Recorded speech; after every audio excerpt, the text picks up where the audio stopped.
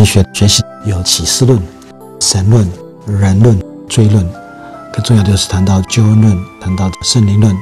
这次我们来到教会论的部分呢。教会论在中国教会里面是最弱的一个部分。一般在我们的教会里面，弟兄姐妹对救恩、对基督都有一些的认识，但是对教会本身认识非常的薄弱。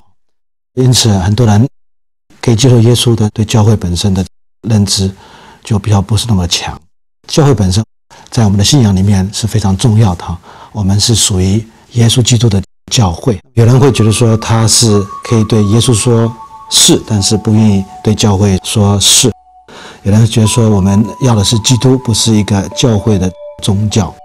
很多人把教会当作只是一个娱乐团体，当做是一个俱乐部，或者当作是一个政治的一个体制，或者把它当作是一个救助的团体。但是我们知道说，神的话语对教会的教导是非常清楚的。我们需要来了解到底身上怎么讲教会，在整个教会历史传统里面，教会本身的。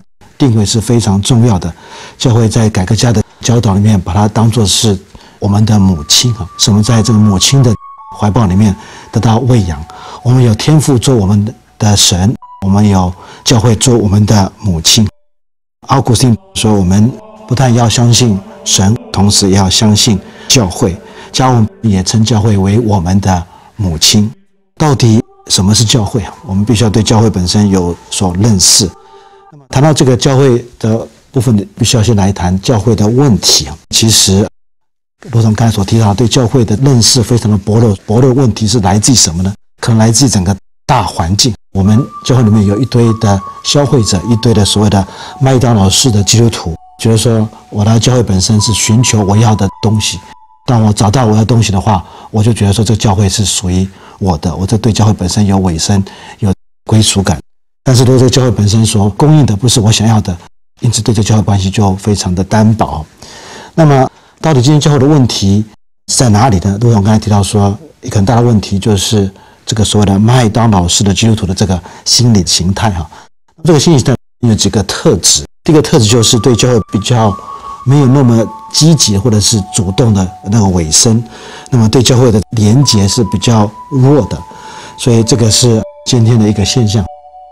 很多基督徒本身，他们把教会当作是可以常常变动的。很多时候，基督徒一下子从这个教会搬到另外教会，或者是换另外教会，甚至很多传道人对教会的一个尾声也是非常薄弱的。很多时候，牧会几年就换教会、换宗派，对教会本身没有一个长期的尾声。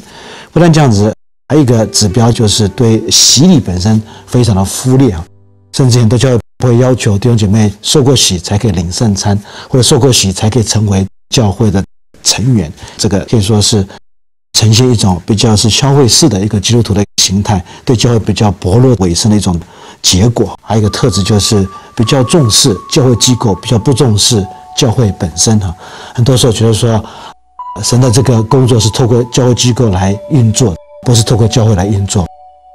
那这样的一个啊认知，我们知道说是。非常不合乎圣经的，神的工作是在教会里面，教机构的存在是为了帮助教会，这个可以说是今天教会问题的一个很大的一个部分。不但这样子，看到说，在整个传统的福音派神学里面，还有一个很大的神学上的一个认知的一个不平衡。在传统福音派的教会里面，有一些基本上的问题。传统福音派的这个教的教会观，很多时候比较重视于什么呢？重视于就是。那功能性比较没有谈到教会的本质是什么。如果我们看洛桑会的信仰告白的时候，他们对教会部分那个告白，很多时候往往是局限在教会在做什么，而不是在谈教会的实质、教会的本质。所以这个多多少少可以显露出福音派本身对教会论的那个不平衡的地方。那么还有一点就是什么呢？就是一般今天的教会观往往是比较强调那个教会的属灵的层面。比较是一种柏拉图式的教会观，比较没有去看到说教会在地上要怎么彰显基督耶稣的这种生命，怎么活出耶稣基督的生命来。这个也可以看到是对教会论本身的一个薄弱的结果，就是比较强调那个属灵的层面，不要因为看到在地上这个主耶稣身体怎么在那里彰显耶稣基督的事实。从这个三个方面来看到说，其实这都是教会今天的一个大问题。不但有这个大问题，其实我们必须要从另一个角度来看教会，就是教会本身是可以从位格、从宣扬、从人来看啊。谈到这个位格的时候，其实我们所说的就是基督耶稣是那位三位体的第二个位格。这个耶稣的本身是神所差来的那位道成肉身的基督耶稣。那么他来，他宣扬天国的福音啊，天国福音。所以通过他宣扬，他召集一群人。这个教会本身就是他所召集的那一群人。所以教会所信的是这位基督耶稣，所信的不只是一套信条或者是。信仰告白而已，当时我们所信的是这位活生生的这位道成肉身的基督耶稣，透过他的宣扬招取一群人，那这群人是这个教会的成员，所以可以从这个角度来思想教会，从位格、从宣扬、从人的这个部分来思想这个教会。那么以这样的一个基本对教会的认识，我们就来谈到底教会是什么？教会的本质是？什么？谈到教会的本质是什么的时候，我们必须要先从第一的这个角度来思想，到底什么是教会？从第一来看的话，这里我们先给大家一个很简单对教会的定义，来做我们思想教会的一个起点。教会的定义本身，我们可以把它了解成为它是神在各时代里面真实的信徒的那一群人哈。所以从这个定义来看的话，教会本身是。在各个时代里面，一切所信的人，他们都属于神的教会。这定义我们知道，的确有圣经的一个基础。教会的这个成员本身是一切在历代里面相信主耶稣的那一群人。那这个时候，我们就必须要来看，到底这样的一个定义本身有没有圣经的那一个根据啊？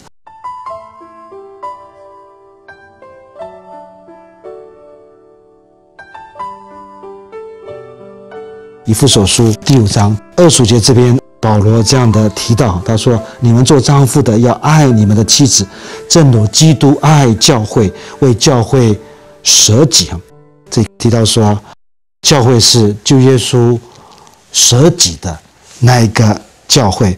那这个教会这个字，在这个经文里面所用的就是应用在基督所救赎的那一群人，基督耶稣所舍己的那一群人。所以教会本身包括。一切历代旧约、新约，整个教会历史里面，就耶稣所救赎的、所舍举的那一群人。好，这个是保罗在以弗所书第五章第二十节对教会的一个教导。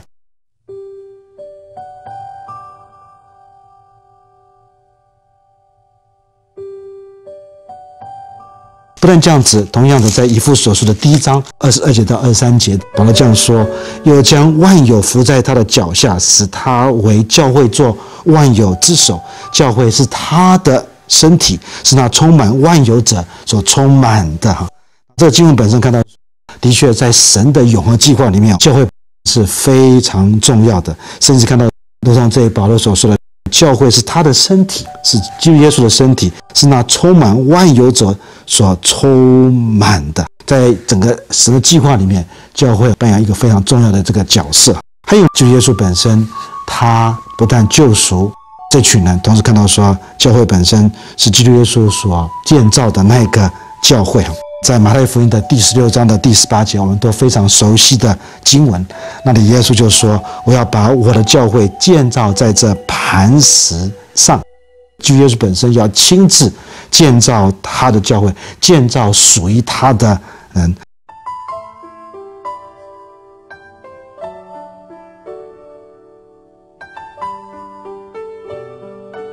那么还有路加所记载的使徒行传的第。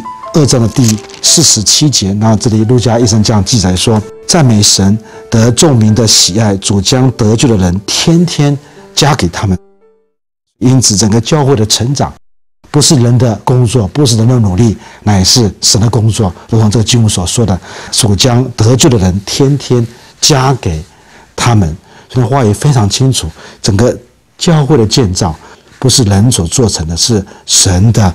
工作，神的话里面让我们看到，其实他不断的在那里建造他的这个教会，不断的在那里呼召属于他的那一群人啊。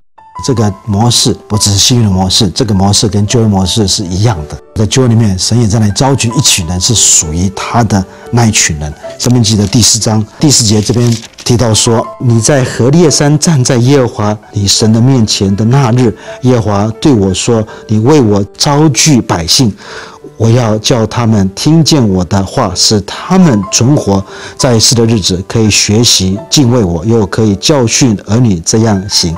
这里看到说，你为我招聚百姓，神在基督里面所建造的这个教会，我们看到说是继续。旧约的这个模式，在旧里面，神也是在那里招聚一群属于他的人。这里所说那个招聚，跟新约所所用那个字“教会”的的意思是一样。教会新约那个字，在新约的希腊文的意思也是神所招聚那群那个字 “ecclesia”，是神所招出的那群人。从旧约到新约，神的工作是一致哈，在那里不断的建造他的教会，不断的招聚属于他的那一群人。那么还有呢，在新约里面，其实新约的作者本身谈到旧约的人的时候，他以色列的时候，也是把以色列当作教会来看待啊。怎么看到呢？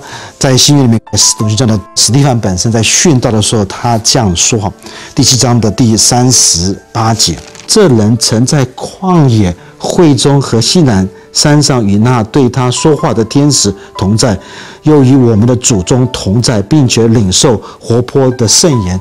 传给我们，这看到说，在旷野会中，会中，在旷野会中，斯蒂凡特别提到说，新约作者提到旧约的这个以色列时候，他们也是把它说成是教会，在旷野那个教会，神所召集那个会中，哈。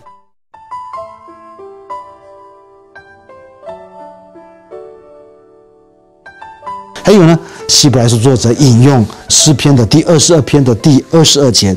他这样说：“我们来看希伯来书的第二章的第十二节，我要将你的名传扬我的弟兄，在会中我要颂扬你。”这提到说，这个会中孙所召举的会中，我要颂扬你。看到这里，新约作者在引用旧约的时候，他们也是把旧约的以色列的选民当做教会来看待，这个也是一个例子。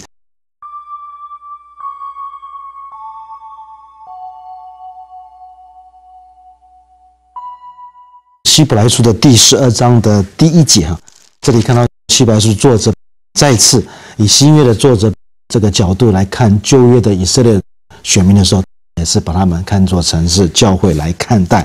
希伯来书第十二章的第一节，这里有一段我们非常熟悉的经文，作者怎么说呢？他说：“我们既有这许多的见证人，如同云彩围着我们，就当放下各样重担，脱去容易缠累我们的罪，存心忍耐。”奔迈在我们前头的路程，这里看到说，地上教会本身被许多的见证人所围绕着。然后这个见证人是回到旧约的这些相信耶和华的人呢。第十一章的第四节到第三十节所提到的，所以这些见证人现今围绕着属于神的人，属于教会的人。所以因此看到说，整个教会本身是属于历代相信。神的人不只是旧约的人，也包括新约，包括整个教会历史的那一些神所救赎、就耶稣所救赎的属于神的人。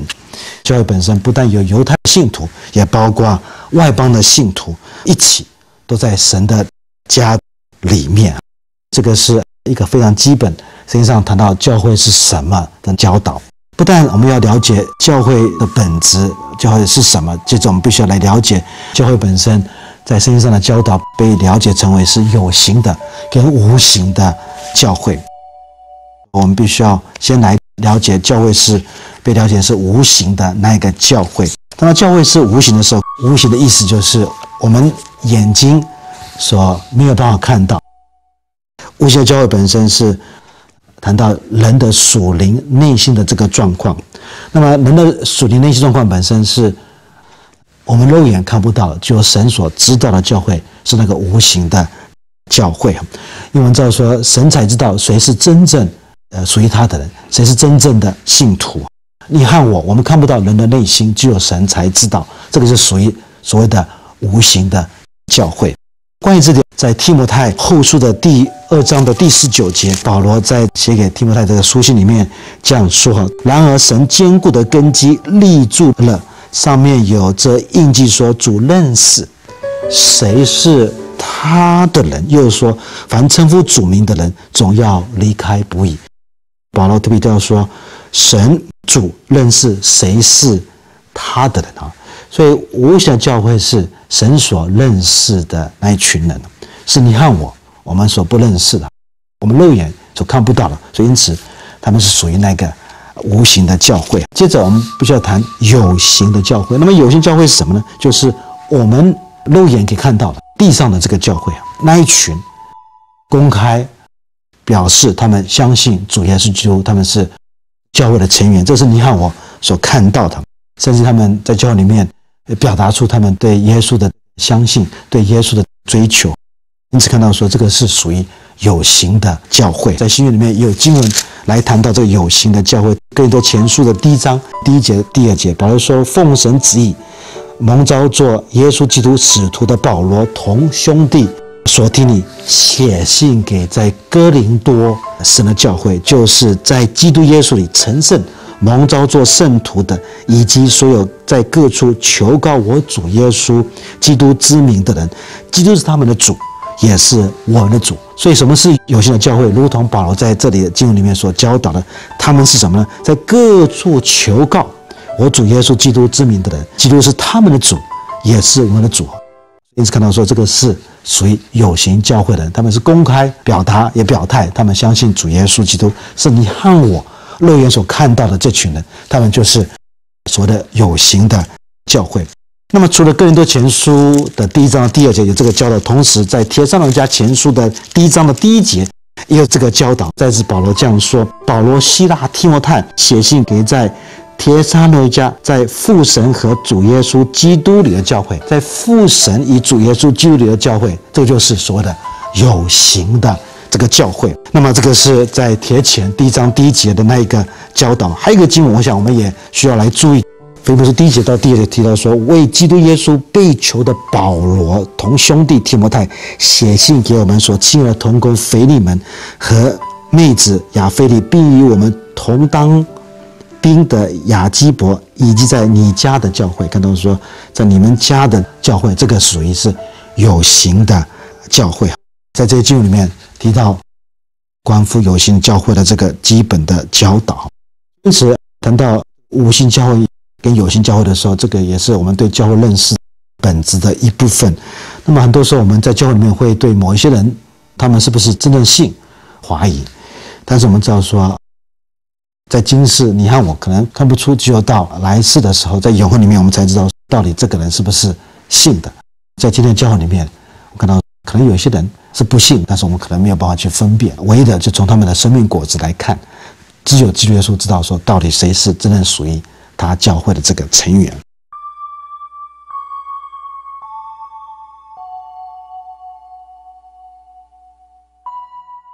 不但在认识教会的本质上，我们必须要从这有形跟无形的层面来认识教会的这个实质。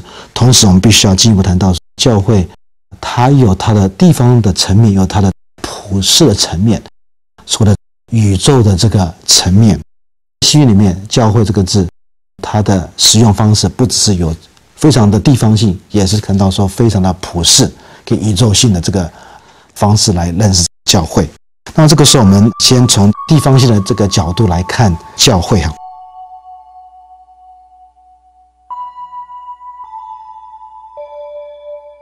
罗马书的第十六章，保罗在罗马书的结束的时候，他这样说：第五节，他说：“要问在你们家中的教会安，问我所亲爱的以巴尼土安，他在亚细亚是归基督出结的果子。”我们特别注意到，保罗在这个经文里面提到说：“要问在你们家中的教会，在家中的教会。”所以看到说“教会”这个字在心里面也可以应用在家中，所谓的非常地方的。连在家中里面聚会的也是教会啊。那么当然看到说，特别是那些推崇小组教会的这些牧师们，他们会谈到说，家中里面聚会的哈很小，如同小指拇大小，他们也是教会。好，这个是一个层面。还有呢，《哥林前书》的第十六章第十九节，亚细亚的众教会问你们安，亚居拉和百基拉，并在他们家里的教会，就看到说亚基拉跟百基拉他们家里也有教会，这个教会本身也可以应用在那么的地方性里面，也把它当做是教会来看待。这个是从家里面的层面来看，他们也是属于教会。不但这样子呢，城市。这个城市也可以这样来应用。保罗在哥林多前书的第一章第二节这样说：写信给在哥林多神的教会，哥林多那个城市，神的教会。我们看到这个字也应用在这个层面，不但用家里面，当在城市里的教会。不但哥林多前书的第一一章的第二节这样说，同时哥林多后书那边的第一章的第一节也这样子来引用哈。他说：写信给在哥林多神的教会，并亚该亚骗处的众神徒。他们也是属于教会的，所以从家里面到城市，还有呢，就是不但在从家里面到城市，同时看到说，在一个地区那边信耶稣的人也说成为教会啊，如同使徒行传第九章的第三十一节，那时犹太、加利利、撒玛利亚各处的教会多得平安，被建立，凡事敬畏主。蒙圣灵的安慰，人数就增多了。看到说，这里特别提到就是犹太、加利利、撒玛利亚那个地区，各处那个地方的教会多得平安，所以那个也被说成为是教会。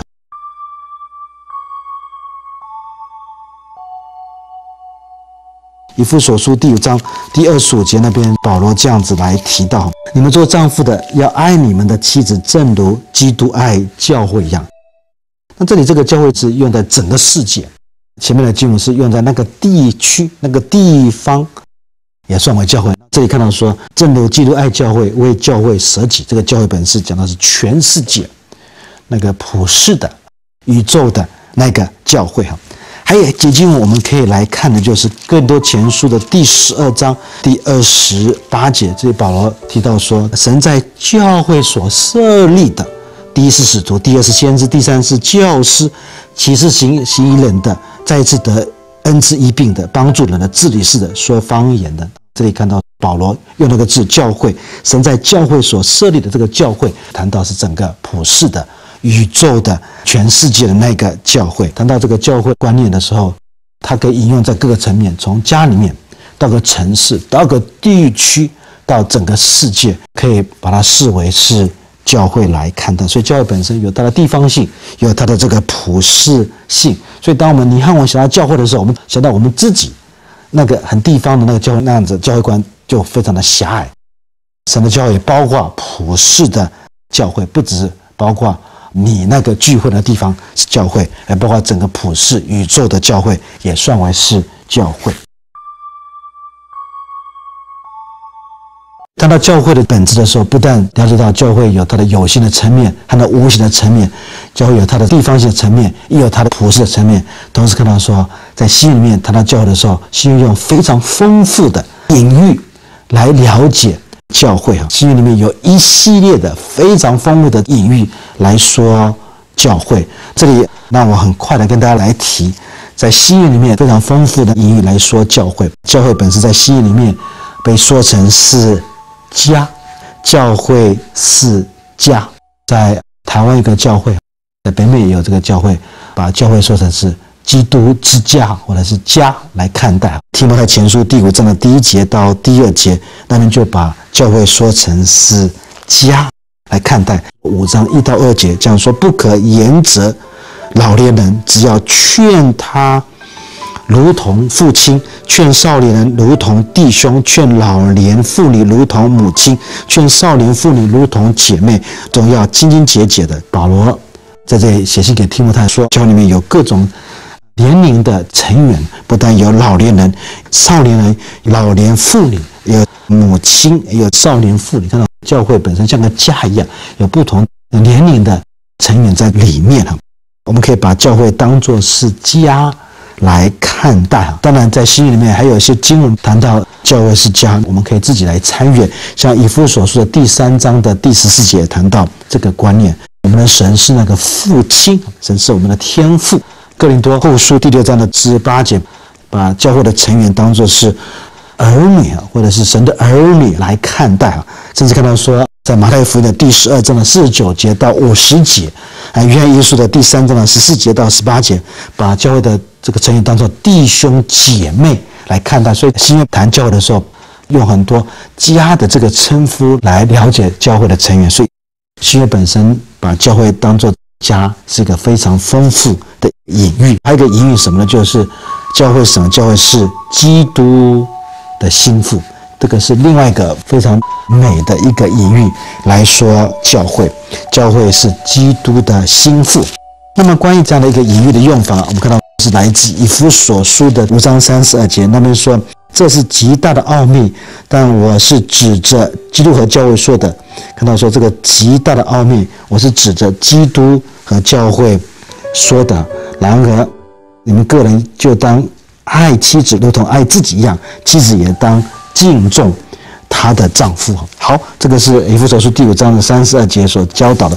我们来看另外的经文，就是哥林多后书的第十一章第二节，这边教导说：“我为你们起的愤恨，原是神那样的愤恨，因为我曾把你们许配一个丈夫，要把你们如同贞洁的童女献给基督，把你们如同贞洁的童女献给基督。”所以看到说保罗在。说教会的时候，把它说成是基督的心腹，把教会说成是要把你们如同贞洁的童女献给基督。不但教会是基督的心腹，同时可能在心里面把教会了解什么呢？教会是葡萄树的枝子。那这样的一个隐喻的用法，是来自新约的约翰福音的第十五章的第五节，把教会说成是葡萄树与枝子的这个关系。这个隐喻是他蛮熟悉的，因为在约翰福音的第十五章，耶稣在说他跟门徒的关系的时候，他特别强调这样的一个教导。他说：“我是葡萄树，你们是枝子，藏在我里面的，我也藏在他里面。这人就多结果子，因为离了我，你们就不能做什么。所以把教会说成为树与枝子的那一个关系。好，这个是一个很重要的意义。还有一个意义什么呢？就是教会是把它了解成为是耕种的田地，这样的一个了解是来自于哥林多前书的第三章六节到九节。这边这样说呢：我栽种的，亚波罗浇灌的，我有神叫它生长。可见栽种的算不了什么，浇灌的也算不得什么，只在那叫它生长的神。栽种的和浇灌的都是一样，但将来个人要照自己的功夫。得自己的赏赐，因为我们是与神同工的。你们是神所耕种的田地，所建造的房屋。你们是神所耕种的田地，所建造的房屋。所以把教会了解成为神所耕种的田地啊，这个也是新约本身对教会的一个隐喻的使用。不但是一个耕种的田地，同时教会什么？教会是一个建筑。新约把教会说成是建筑啊。如我刚才所说的是神所建造的房屋，在更多前书的第三章的第九节，教会是所建造的房屋。还有呢，不但新约本身在说教会的时候，把它说成是什么呢？教会是收割，如同约翰福音第四章的三十五节，你们岂不说到收割的时候还有四个月吗？我告诉你们，举目向田观看，庄稼已经熟了。可以收割了，所以把教会也说成为是收割，这个也是一个隐喻来说教会。不但教会是收割，同时可能大家也听过了，教会是。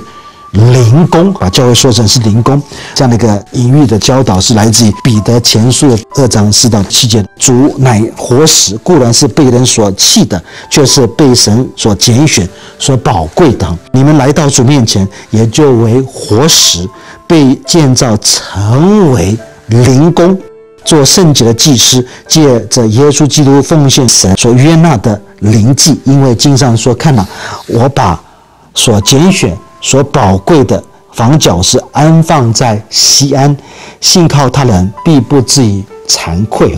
所以他在你们信的人就为宝贵，在那不信人有话说，匠人所砌的石头，已做了房角的头块石头。这里彼得把教会说成是那一个被神建造成为的灵宫哈，不但是圣经上把教会说成是灵宫，同时也把教会说成是祭司。彼得前书的第二章第五节这样说：“你们来到主面前，也就为活石，被建造成为灵宫，做圣洁的祭司。”把教会说成是做圣洁的那一个祭司。不但教会是祭司，同时看到说另外一个非常重要的隐喻：教会是什么呢？教会是神的家。刚才提到说教会是家，这里一个比较。小的一个强调就是教会是神的家，像希伯来书的第三章第六节，那边把教会说成是神的家。三章第六节们怎么说呢？但基督为儿子治理神的家，把教会用这个隐喻把它说成是神的家。还有呢，教会是什么？教会是被建造的，这个也是另外一义。希伯来书的三章三节把教会说成是被建造。希伯来书的三章三节这样教导我们说，他比摩西算是更配多的荣耀，好像建造房屋比房屋更尊贵。把教会说成是建造、被建造的。还有呢，把教会说成是真理的柱石和根基，这个是在。提摩太前书三章十五节所说的那个教会，把教会说成是真理的柱石和根基。那么，一个大家非常熟悉的新约对教会的隐喻，是把教会说成是基督的身体。很多人一想到教会的时候，就直接想到保罗在哥林多前书第十二章第十二节到二十七节那边所教导的，把教会说成是耶稣基督的身体。那么，看到说教会。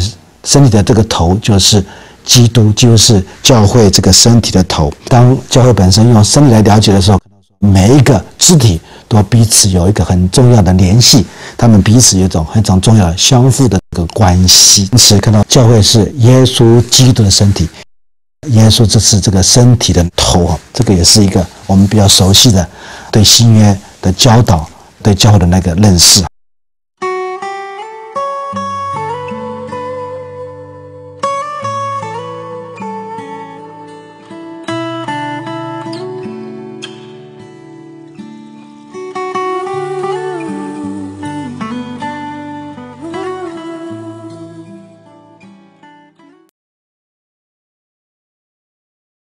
里跟他跟大家走过，就是不同的在新约里面所谈到的教会的隐喻。那这隐喻本身在应用上，我们应当怎么去看？大家看到说，我们不能额外的强调某一个隐喻。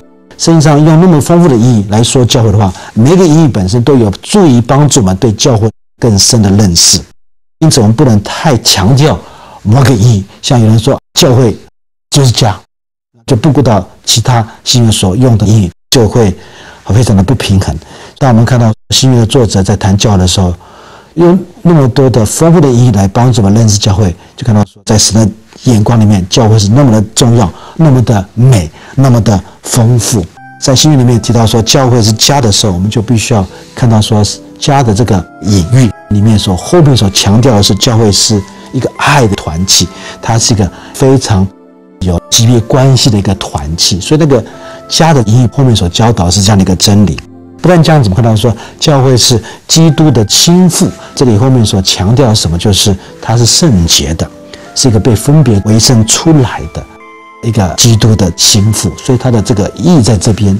不但这样子，教会如果把它说成是葡萄树跟枝子的关系的时候，其实我们的生命跟耶稣的关系是密切的。我们必须要更多的依靠他，更多的住在他里面。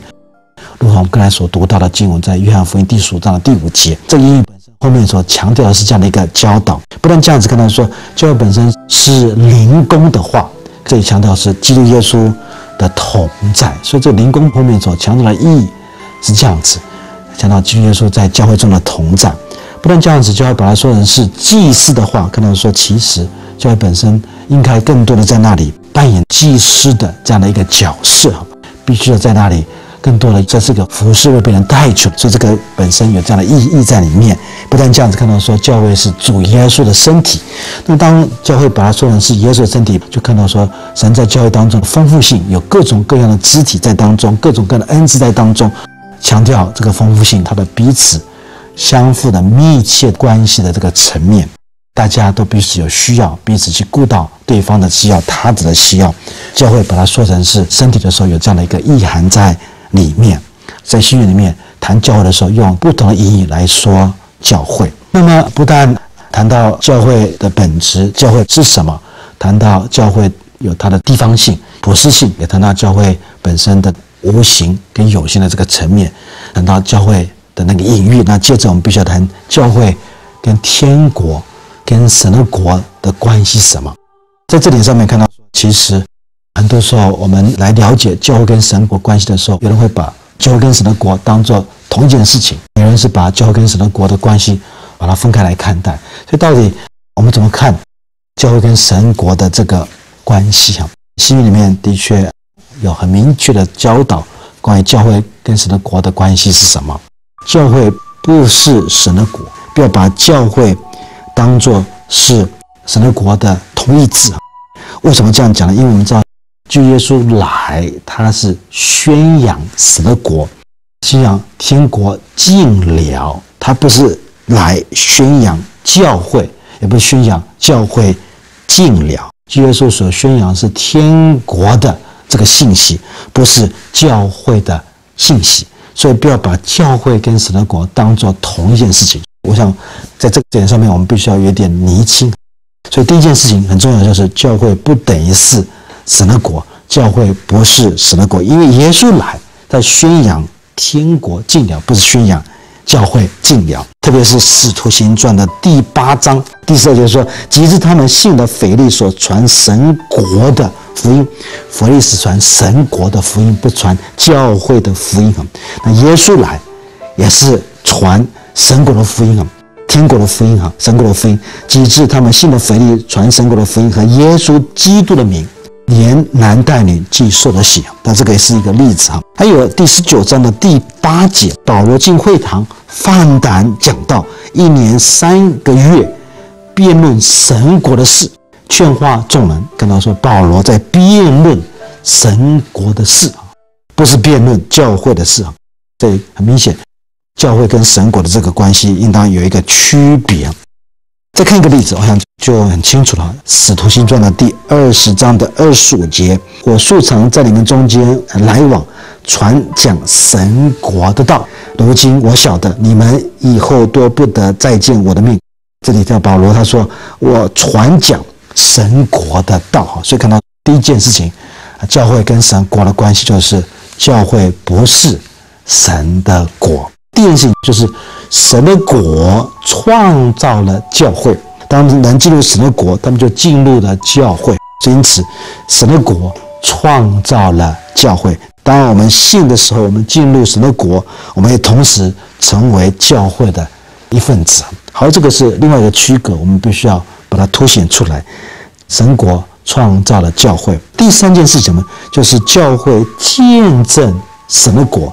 教会见证神的国，就如同马太福音的第二十四章第十四节那边所教导的，这天国的福音要传遍天下，对万民做见证，然后末期才来到。天国的福音要传遍天下，因此跟他说，教会要见证神的国。那所以怪不得这里耶稣说，天国的福音要传遍天下，对万民做。见证好，这个是第三个区别。第四个区别什么呢？就是教会本身是天国的器皿，教会的成员靠着圣灵能力，如同耶稣时代的门徒们在那里赶鬼，在耶稣的师傅里面也是靠着圣灵能力赶鬼，所以门徒也这样子。因此看到说，教会要成为天国的器皿。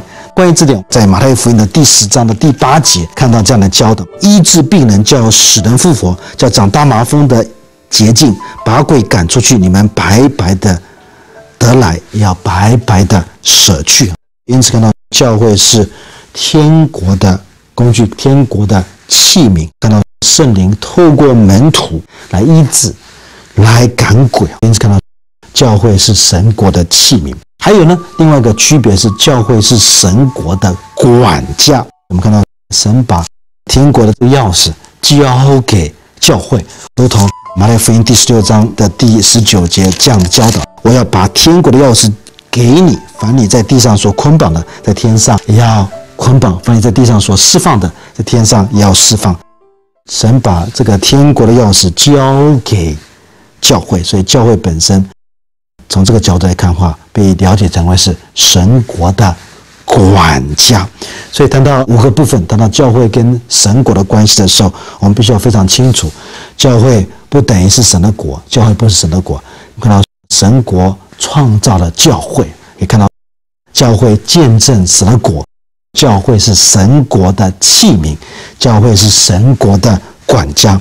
因此，我们不要太草率的就把神国跟教会当做是同等的，也不能说像有些很保守的教会就把神国当作是完全将来。今天我看到，透过自己的工作，教会要成为神国的器皿。一些比较自由派的学者会把教跟神国当作是同样的来看待。今天在那里改造社会。再来做社会关怀、做社会福音的工作的时候，看到神的国就有领导，这是就派学者们对神国跟教会关系的一个了解。因此，看到神要透过教来彰显神国的力量。因此，罗刚才提到说，教会是神国的器皿，神要透过这个教会来彰显神国的时候，将来神国掌王权的势力在今天要进入历史。所以在今天看到说，已经有这个已然的层面，在将来整个神国的。彰显要更清楚、更丰富，有这个所谓的已然跟未来的这个面相在里面。那今天每一位相信他的人，今天就开始经历到将来神国的那种掌王权的事实，而不需要等到将来，就今天就可以经历到已然的这个层面。那这个今天，你看我当我们信耶稣的时候，我们就经验到。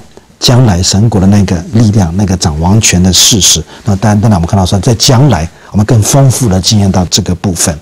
因此，刚才跟大家提到教会跟神国的这个区别，我们在这方面需要非常的清楚。你看，我必须要在教会跟神国的这个认知上有这样的一个了解。那在最后，大家所认识的一个非常重要的学者赖德，他也谈到教会跟神国跟这个神国度的关系。在他的新约神学的那本书的一百二十页里面，他就特别提到教会跟神国的这个关系。他给我们一个非常直接的、清楚的一个定义。他说，什么国度基本上是神强有力的统治或王权，却神的国度可演绎为经验神治理的范围。按圣经的用语，神的国和神国的子民不同。神国的子民是神治理下的子民，是进入神的治理，在神的治理下生活，并受神的治理所管辖的百姓。教会是神国度的会众，但绝对不是神国本身。耶稣的门徒属于神的国度，正如神的国度属于他们一样，但他们不是神的。国度，这个国度是神的统治，而教会是人的团体。我想这个定义本身很清楚。路堂这里所说的，耶稣的门徒属于神的国度，正如神的国度是属于他们一样，但他们不是神的国度。神的国度是神的统治，而教会是人的团体。当我们在思想神的国度跟教的关系的时候，那也给我们一个非常清楚的界定，清楚的一个定义。好，我们看到。这些就是不同层面对教会本质的一个了解跟认识。前面跟大家谈到教会的本质，然后教会跟天国的这个关系。接着我们来谈就是教会的治理。今天我们看到其实有不同的治理的形式。如果我们看罗马天主教会的治理方式，就看到说的最高的治理领导者就是教皇，所以呢他们是个中央体制的一个治理的方式。那么在圣公会里面，我们看到说这个也是一个在世界的教会里面一个非常大的团体，他们比较是以主教是大主教，在一个地区来治理的方式。接着看到说，哎呀，长老会，当然还是用宗会的方式，用长老的方式来治理这个教会。啊，浸信会本身我们看到说比较在意是地方教会的成员有最后的权利治理。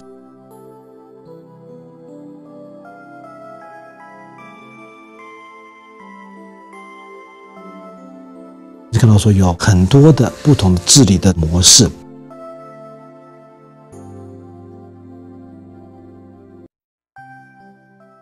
很多时候会问一个问题：到底新约本身有没有供应我们一个教会治理的模式呢？或者有没有哪一个模式是我们必须要特别的重视？这也就是很多时候我们谈到教会治理模式的时候所需要问的问题啊。但是我我比较强调就是说，其实教会治理的这个教导，在新约里面不是一个很主要的教义，所以它不类同于就是像三位一体或者是基督论。或者特别是基督耶稣的神性，基督耶稣在十字架上代赎，或者圣经的权威啊，它可能不是在那么高的层次上面啊，教的治权重要，但是它不是一个很主要的教义，所以因此在治理的这个模式上面可以有一些弹性。以这个做我们对教会治理的这个问题上开始的认识，我们就必须要先来谈，在新约里面所呈现的关于教会治理的这个模式所给我们的明显的教导。在新约里面特别谈到教会治理的时候，谈到教会的这个职分。谈到教会职分的时候，新约里面谈到说，在教会里面有使徒、有长老，或者是牧师监督或者主教。看到说教会不但有长老，同时看到教会也有执事。这个是新约里面所呈现的教会的职分的这个部分。那么谈到教会职分的时候，我们需要先给教会职分有一个清楚的定义，到底教会的职分是什么？这里给大家一个很简单的定义：到底什么叫教会的职分？教会的职分是一个公开被承认、拥有责任和权利去执行某一些对教会有帮助的工作或者侍奉。这是一个很基础的定义。那么谈到教会的职分，看到在新约里面很明显的提到教会里有使徒，所以这个时候我们必须要先来了解使徒是什么，因为现在在某一些的圈子里面。谈到说，今天教会也有使徒，甚至我们看到说，有某些的牧师称自己为使徒，因此这里的牵连就很大。到底今天有没有使徒在教会的里面？因此，我们必须要先来了解，到底圣经上怎么谈这个使徒？使徒的资格是什么？使徒要怎么去认定他？那么，到底今天教会是不是还有使徒的这个职分？谈到这个使徒的时候，我们看到说，在新约里面，使徒本身有四个层级或者四个层面。所以这个字“使徒”在新里面有四种用法。这个时候我们来看第一个用法。第一用法，我们看到说，其实耶稣就本身是那个真正的大使徒。这个是新里面明显所教导的，在希伯来书的第三章的第一节提到说。同门天照的圣洁弟兄啊，你们应当思想我们所认为死者为大祭司的耶稣。如果你看这里的英文，很明显把耶稣说成是那个阿帕索那个使徒，所以和本把它翻成是为使者，其实那个是为使徒、为大祭司的耶稣。所以新约那个字使徒。它的第一个层面的用法是用在耶稣基督上面，耶稣就是唯一的那个真正的使徒，那位神所差派的，从父所差派的那位使徒，这个是第一个用法。那第二个用法是你看我最熟悉的用法，就是基督耶稣所选立的、所设立的那个原来的十二个使徒，这十二个中间有一个就是。犹大出卖了耶稣，后来请马替亚来递补。那这十二个就耶稣亲自拣选的使徒，是在新约里面非常重要的一个团体。这个团体非常独特，这个团体不但独特，它是一个关闭的团体，就是因为它十二个这个数字在心里面是非常重要的。所以这是第二用法。今天我跟他说，没有这个原来的就耶稣所选立的这个十二个使徒。那谈到这个十二个的这个特别性。其实我们跟他说，在心里面也有这样的教导，就是来自于马太福音的十九章二十八节。耶稣说：“我是在告诉你们，你们这跟从我的人，到复兴的时候，人子坐在他荣耀的宝座上，你们也要坐在十二个宝座上，审判以色列十二个支派。门徒们也要坐在十二个宝座上，审判以色列十二个支派。所以看到他们有很独特的角色，他们有这个审判的。”角色，他们要审判十二个支派。这十二个数字是独特的，所以这第二个层次的使徒，我们看到今天没有再有它。再看启示录的第二十一章十四节，曾想有十二个根基，根基上有羔羊，十二使徒的名字。这是条那个十二使徒的这个观念，看到这个很特别的那一群人，是基耶稣所选立的那十二个使徒。这个是第二个“使”这个字在西里面的第二种用法，到了第二个层次。那么第三个层次呢，我们可以把它归纳成为保罗跟其他的使徒。第一个层次，耶稣基督是那唯一的神所差派的那真正使徒，从父所差派来的。第二个层次就是基耶稣原来。所选立的那十二个使徒，当然加上后来地补犹大的那个马提亚。那么第三个层面就是保罗跟其他的使徒。那么这个保罗跟其他使徒，他们的权柄应该类同于原来基督耶稣所选立的十二个使徒。关于保罗是不是使徒，这个经文上有明显的记载。这个记载是来自于哥林多前书的第数章第九节。保罗这样说：“我原是使徒中最小的，不配称为使徒，因为我从前逼迫神的教会。”这里保罗说：“我原是使徒中最小的。”所以保罗也是这个所谓第三个层面，保罗也是使徒。不但这样子，保罗是使徒，同时看到巴拿巴也是使徒。那么巴拿巴是使徒，在新约里面也有明显的这样的记载。是来自于新约的使徒行传的十四章第四节，城里的众人就分了党，又服从犹太人的，又服从使徒的，服从使徒的。那么跳到后面的十四节，这题要说服从使徒是谁呢？看到巴拉巴、保罗二使徒听见，就撕开衣裳，跳进众人中间，喊着说：“所以看到说，这里巴拉巴跟保罗都放在一起，被称为是。”使徒，所以我们从这经文看到说，连巴拉巴也是使徒。那不但巴拉巴是使徒，同时看到经里面也记载雅各，耶稣的兄弟雅各也是使徒。特别是加拉太书第一章第十九节记载，至于别的使徒，除了主的兄弟雅各，我都没有看见。所以看到从这里保罗提到说，你雅各主的兄弟，主的这个兄弟也是使徒。在这里提到。雅各，同时在哥林多前书数章的第七节也提到雅各，那么雅各也是使徒。第七节提到说，以后显给雅各看。哥林多前书第十章看到基耶稣复活以后向谁显现？这里特别提到他以后显给雅各看，再显给众使徒看。那么显给雅各还有众使徒看，所以看到也把雅各耶稣基督兄弟列在使徒的行列的里面，所以雅各也是使徒。所以不但有。保罗、巴拉巴加上雅各，同时看到希腊也被列在使徒的行列的里面。那么希腊是使徒，是怎么看到呢？是来自于铁沙罗家前书二章六节这样说：我们做基督的使徒，虽然可以叫人尊重，却没有向你们或向别人求荣耀。那么这里所说，我们做基督的使徒，这我们是谁呢？当回到。天上人家前书的第一章第一节来了解保罗、希拉、提摩太写信给天上人家，在父神和主耶稣基督里的教会，所以看到希拉也应当被看为是使徒。那这里看到说也提到提摩太，那有人会说提摩太本身也可能是使徒。从刚才所读的经文里面，特别是铁上人家前书的第一章的第一节那边。所提到的，把提摩太跟保罗、希拉放在一起，但是也有学者告诉我说，可能提摩太没有包括在这个使徒的行列里面，因为这边提到说，我们做基督使徒不包括提摩太。那么怎么说呢？请大家来对照一下，就是贴上一下前书的第二章第二节，我们从前在腓利比被害受辱，这是你们知道的。然而还是靠我们的神放开胆量。在大征战中，把神的福音传给你们。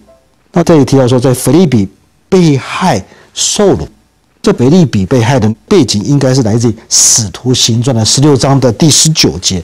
那么，如果回到《使徒第十六章的十九节来看，的腓利比被害的那个情况中间，那里就没有提到提摩太。所以看到提摩太到底是不是真正使徒，是有点的被指引，因为从这经文来看的话，可能他只是被当作是个童工，而不是当作使徒来看待。那么这个怎么说呢？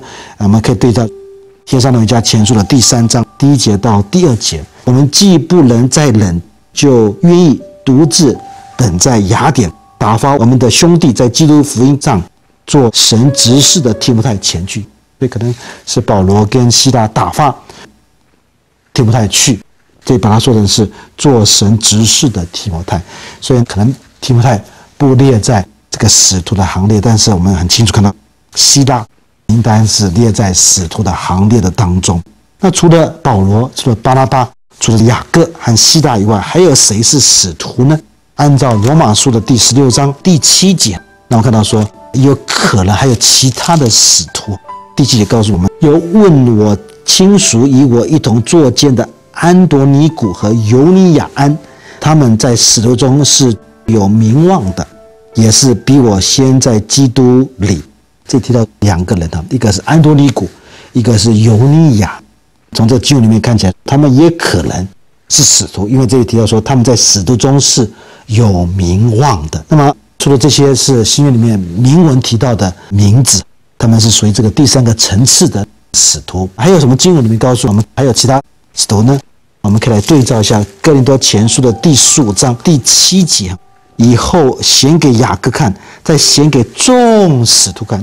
那么说这个众使徒也有可能，除了我们刚才所看到的新约里面明文提到的名称以外，可能还有其他的没有在新约里面。提到的，因为这里提到众使徒，有可能有好多位没有举名的使徒，所举名的是刚才跟大家所浏览过的那些的名称，就像保罗、巴拉巴、雅各跟希纳，还有安多尼古跟尤利亚，他们都应当是属于这个第三个层次的使徒。那么像提摩太、亚波罗，我看到他们可能没有直接被提到说是。使徒，但是我们知道，在早期教里面，他们是很重要的教会领袖。那么这个时候，我们还需要来谈一个问题，就是尤利亚。刚才在罗马书第十六章第七节所提到的尤利亚这个人，那尤利亚到底是不是使徒？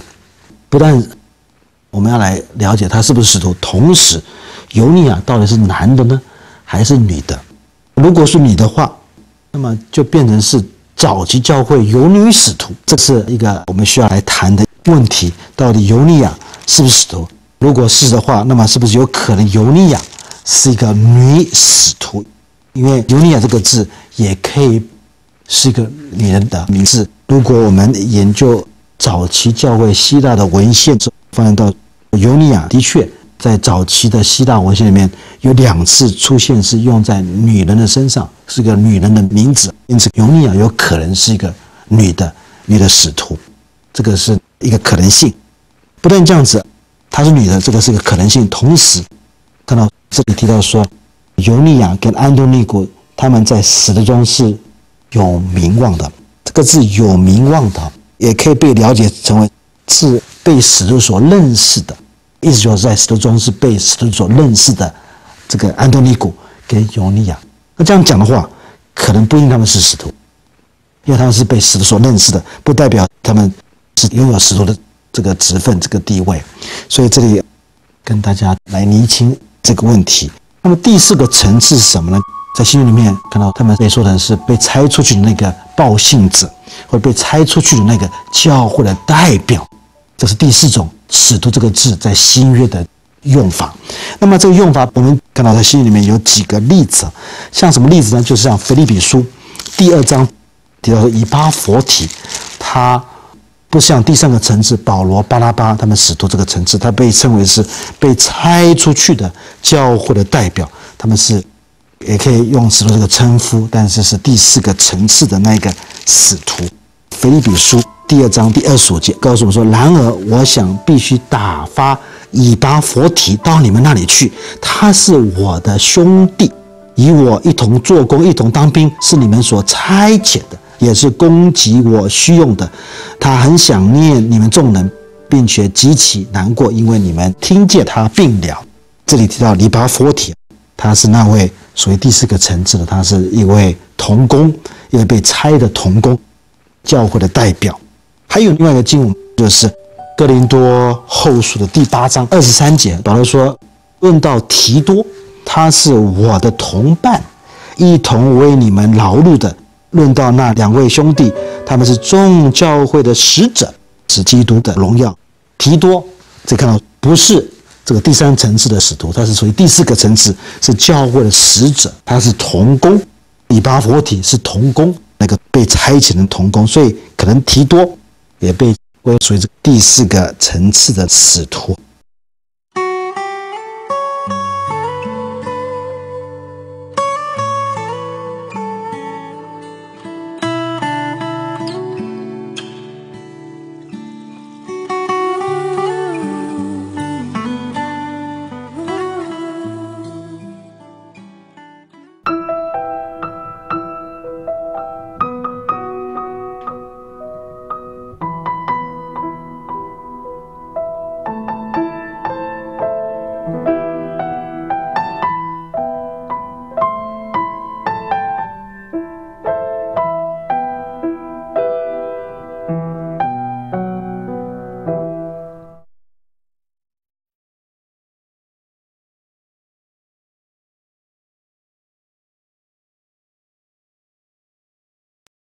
刚才跟他提到新约所用的使徒这个字本身可以分成四个层次。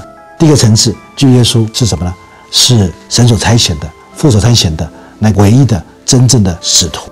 那第二层次就是原来基督耶稣亲自拣选的，他所拣选的那十个使徒。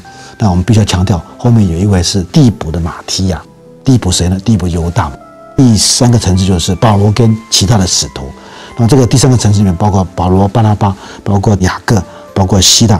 那么有可能安东尼古跟尤尼亚，但是呢，可能也可以被了解成为是在使徒当中，他们是被使徒所认识的安东尼古跟尤尼亚。那第四个层次呢，就是所谓的同工同伴，教会所差遣的使者，像一把火体或提多，他们也被称为是第四种用法的使徒。那今天如果说教会使徒，应该比较属于第四种层次的。那一种使徒，这个是关于使徒的界定，到底谁是使徒？那接着我们必须要来看使徒的资格，到底资格是什么呢？使徒资格第一个必须要是什么？他们亲眼见证耶稣，亲眼看到复活的基督耶稣，他们是眼睛耳朵的耶稣基督复活的见证人，这个是。做使徒基本的资格，那么这个资格的界定是圣经上本身的这个界定，这个界定可以在新约的使徒行传第一章二十一节到二十二节看到。所以主耶稣在我们中间始终出入的时候，就是从约翰施洗起，直到主离开我们被接上升的日子为止，必须从那常与我们作伴的人中立一位与我们同作耶稣复活的见证。这个上下我是谈到，在选立马提亚的时候来递补犹大这个出卖主的使徒，所以这看到说是个基本的资格。一个使徒应该是什么呢？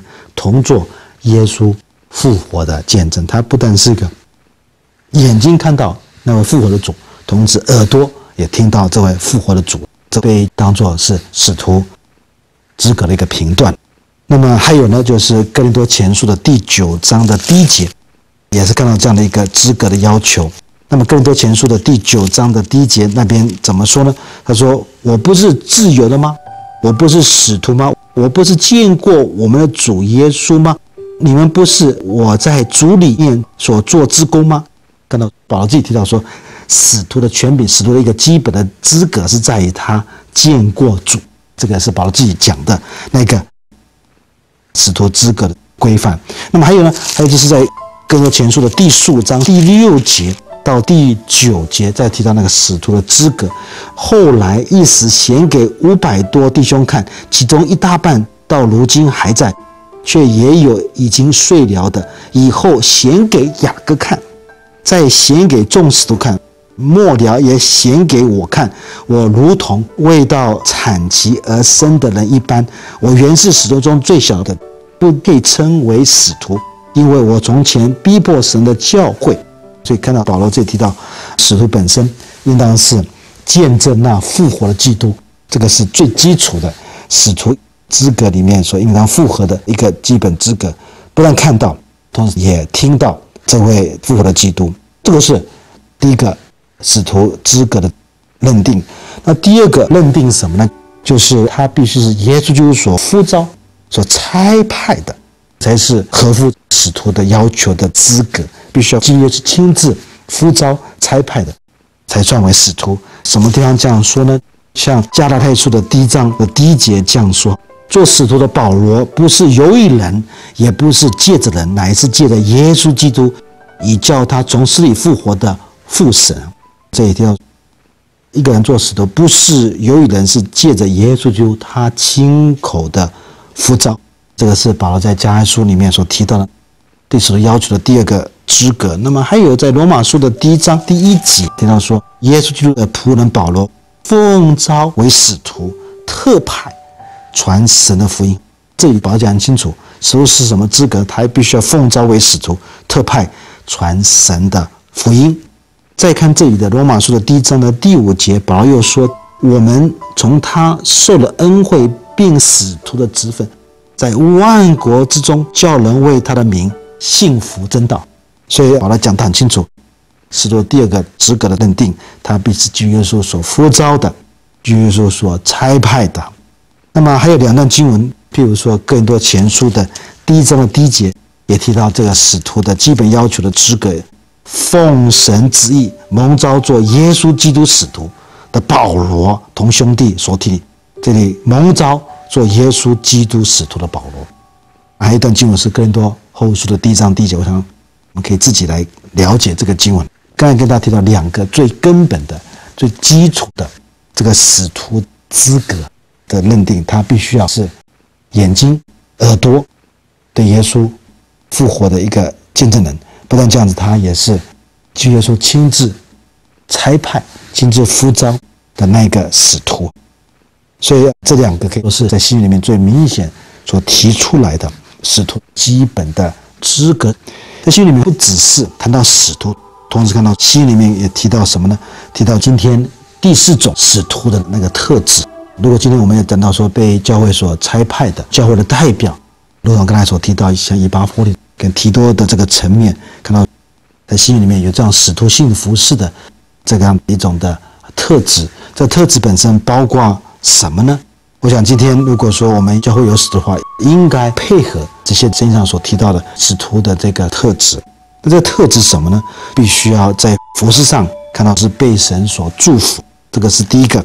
诗经里面所呈现的那个要求，那么这个要求是怎么看到呢？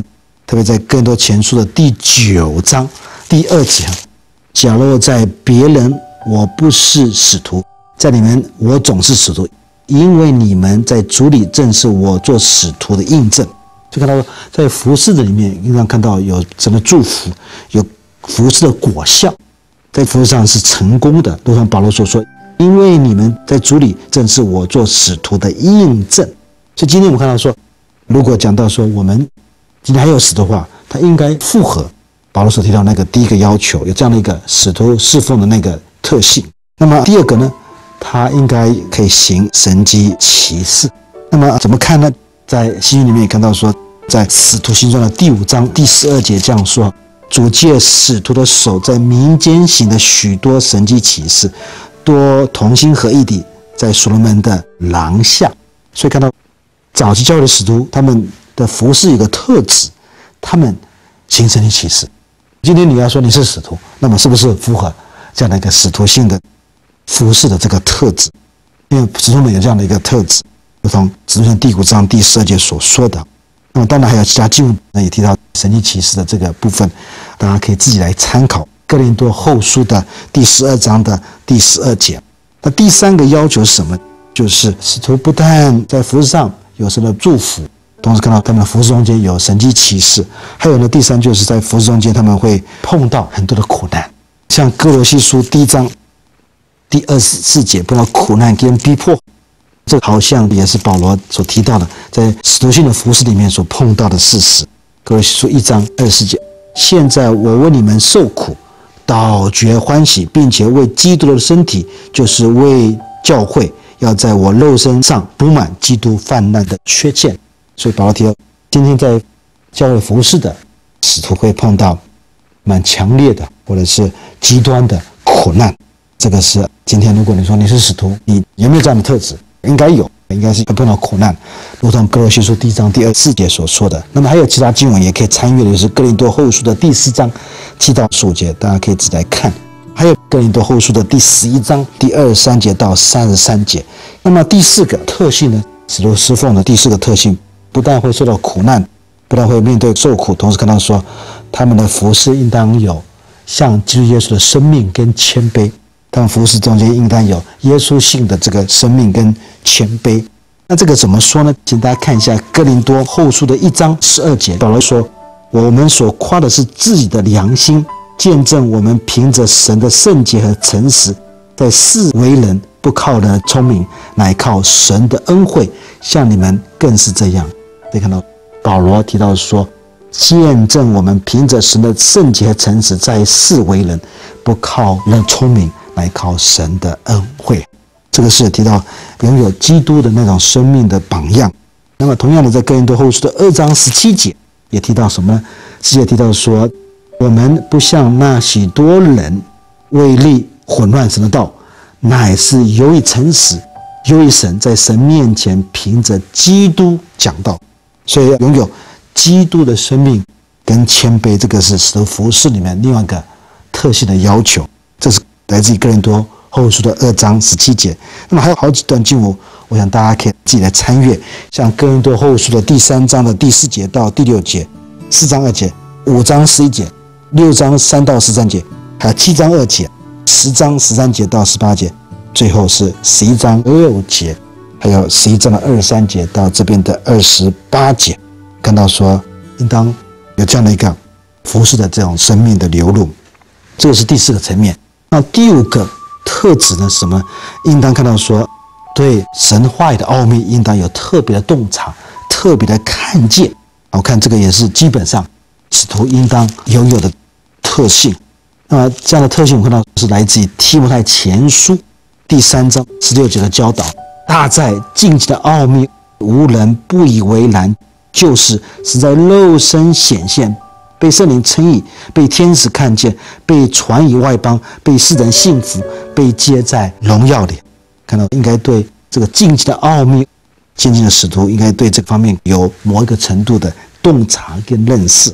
在这里还有其他经文，大家可以来比较跟认识的，就是以弗所书第三章的第一节到六节，罗马书的十一章二十五节到三十二节，还有哥林多后书的十二章一到四节，哥林多后书的十二章。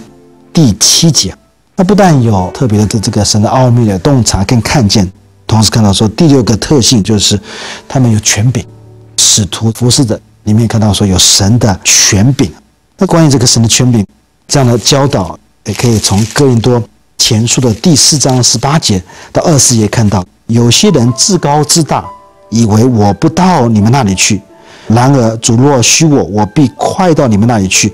并且我所要知道的，不是那些自高自大之人的言语，乃是他们的全能。因为神的国不在乎言语，乃在乎全能。你们愿意怎么样呢？是愿意我带着行杖到你们那里去呢，还是要我存慈爱温柔的心呢？看到保罗提到，使徒应当拥有了全能，拥有了权柄。所以看到这个也是使徒性的服饰里面所。应当具备的那个特性，有权能，有权柄。那不但有这个经文可以来了解，同时还有其他经文可以看的，就是《使徒行第五章第一节到十一节，还有呢，跟着后书的十章第八节也是另外例子，还有第十三章的第十节，零后十三章的第十节，那最后就是提摩太前书一章的二十节，这第六点。然后第七点呢，看到说今天有使徒服侍的，还应该包括这个第七个特性。那第四等于什么呢？就是如同保罗在哥林多前书第三里面的第九节到十三节所读到的。我想神把我们使徒明明列在幕后，好像定死罪的囚犯，因为我们成了一台戏，给世人和天使观看。我们为基督的缘故算是愚拙的，你们在基督里倒是聪明的，我们软弱，你们倒强壮；你们有荣耀，我们被藐视。那么保罗又说：直到如今，我们还是又饥又渴，又赤身露体，又挨打，又没有一定的住宿，并且劳苦，亲手做工，被人咒骂，我们就祝福；被人逼迫，我们就忍受；被人诽谤，我们就赞劝。直到如今，人还把我们看作世上的污秽。万物中的渣渣，我们看到在这里提到，就是使徒们他们在那里为耶稣就成为世界的污秽，成为万物中的渣渣，是神舞台上被看为是愚拙的。这是看到使徒服饰里面第七个基本上的特性。所以今天如果你看到这样的一个保罗这样的描绘的时候，很多人他们那么容易的称自己为使徒，应该好好的把这经文读一读。不要太快的把自己当作是使徒来看待。其实，这看到一个做使徒人，他们又饥又渴，又赤身露体，又挨打，又没有一定的住处，并且劳苦亲手做工，被人咒骂，我们就祝福；被人逼迫，我们就忍受；被人毁谤，我们就善劝。直到如今，人还把我们看作世上的污秽，万物中的渣渣。因此，看到这个使徒性的服饰，你们应当至少。在他们服饰中去看到这几个特质，才可以算作是把它当做是今天第四种的那种使徒的要求。所以刚才提到就是使徒这个职分，的确看到说在新约的这个时代里面，现在教会里面有使徒，那么谈到使徒应当拥有的资格，谈到使徒服饰应当拥有的这个特质。那看完使徒的职分以后，我们再来看新里面提到不只有使徒。同时，要有长老。那么谈到新约里面有长老的时候，我们必须要对长老这个职分，比较从新约的教导来看这个长老。我们知道有些教会他们没有说他们教会有牧师，说他们教会有长老。其实牧师就是长老，长老也就是监督，监督也就是牧师。这几个字在新约里面是交换的被使用，所以等于说长老就是牧师，牧师也就是监督。监督也就是长老这样这样的一个认识，因此我们这个时候就来跟大家谈什么是长老，在新约的教导里面怎么看待长老这个职分。当然，这长老时候我们必须要看到新约的第一个非常明显的教导，就是长老的领导，在教领导都是复数，不是一把抓，而不是所谓的一个人在那里独当，就是他一个人在那里主导，就看到。这是新约教会的一个模式，就是所谓的多数的、复数的这个长老，这个可以说是新约一贯性的那个模式。在教会治理的时候，一定是不止一个人治理，一个长老治理，是好几个长老一起治理那个教会。这是新约的模式。关于长老的这个职分的教导，我们看到《使徒行传》的第十四章的二十三节那边提到，二人在各教会中选立长老。又进食祷告，就把他们交托所信的主。这里谈到保罗在第一次的宣教的旅行的里面，教会成立不久，就在那里设立。这里提到说选立长老，然后这个长老在原文里面是 elders，是长老们，是复数的多数的长老。还有呢，在使徒传第二十章第十七节，保罗从米利都打发人往以夫所去。请教会的长老来，以夫所有教会的长老，这个长老在这里看到也是复数的，是是长老们，不只是一个长老。这个看到很明显的是新约的模式，不但有来自于路加所记载的新约教会这个早教的一个例子，还有在提多书里面第一章的第五节也提到：我从前留你在克利特，只要你将那没有办完的事多办整齐了。又照我所吩咐你的，在各城设立长老。保罗告诉提多说，在各城设立长老。这个长老但是各城里面所设立长老不是一个，是好几个长老。那么再看提摩太前书的第四章十四节，怎么说？你不要轻夫所得的恩赐，就是从前记得议员在众长老。这个众长老明显，叫众长老就不是一个，然后教里面不止一个长老，是好几个长老。所以这个是一再一再在信里面所看到的那个模式。许我继续再提几个例子。雅各书也有这个例子。新约的雅各书五章十四节，你们中间有病疗的人，当就该请教会的长老来。他这个教会的长老不是一个哦，是好几个长老。看到说雅各这卷书是写给当时的好几个教会，所以看到这个是不再是新约的模式，是好几个长老在治理这个教会。还有呢，彼得前书的第五章第一节，彼得这样说：“我这做长老，做基督受苦的见证，同享后来所要显现之荣耀的，劝你们中间与我同做长老的人。”看到这也不只讲一个。讲好几个长老，那再次看到说，彼得前书这个书信是写给好多教会。如果大家比较彼得前书的第一章的第一节，那里说耶稣基督的使徒彼得写信给那分散在本都、加拉太、加百多家、亚细亚、比堆里寄居的。可以再看到新约的那个教会治理的模式是多数的长老来治理教会，所以看到这个是一贯性的新约的这个。教导，那么从这里可以看到，在新约的时代的教会里面，很明显，不管在哪个地方的教会，不管教会多大多小，看到不是一个长老在治理，是好几个长老，是多数长老在领导这个教会。在渐渐我们所看到教会里面有不同的教会治理模式，但是一个非常明显的、明确的新的教导就是，应该是好几个长老来治理教会，来领导教会。这个是在新约里面所教导关于长老的部分，不但有这个教导，同时可能第二教导就是在新约里面有别的对长老的称呼，其他长老的称呼，像牧师也是长老，也就是牧师。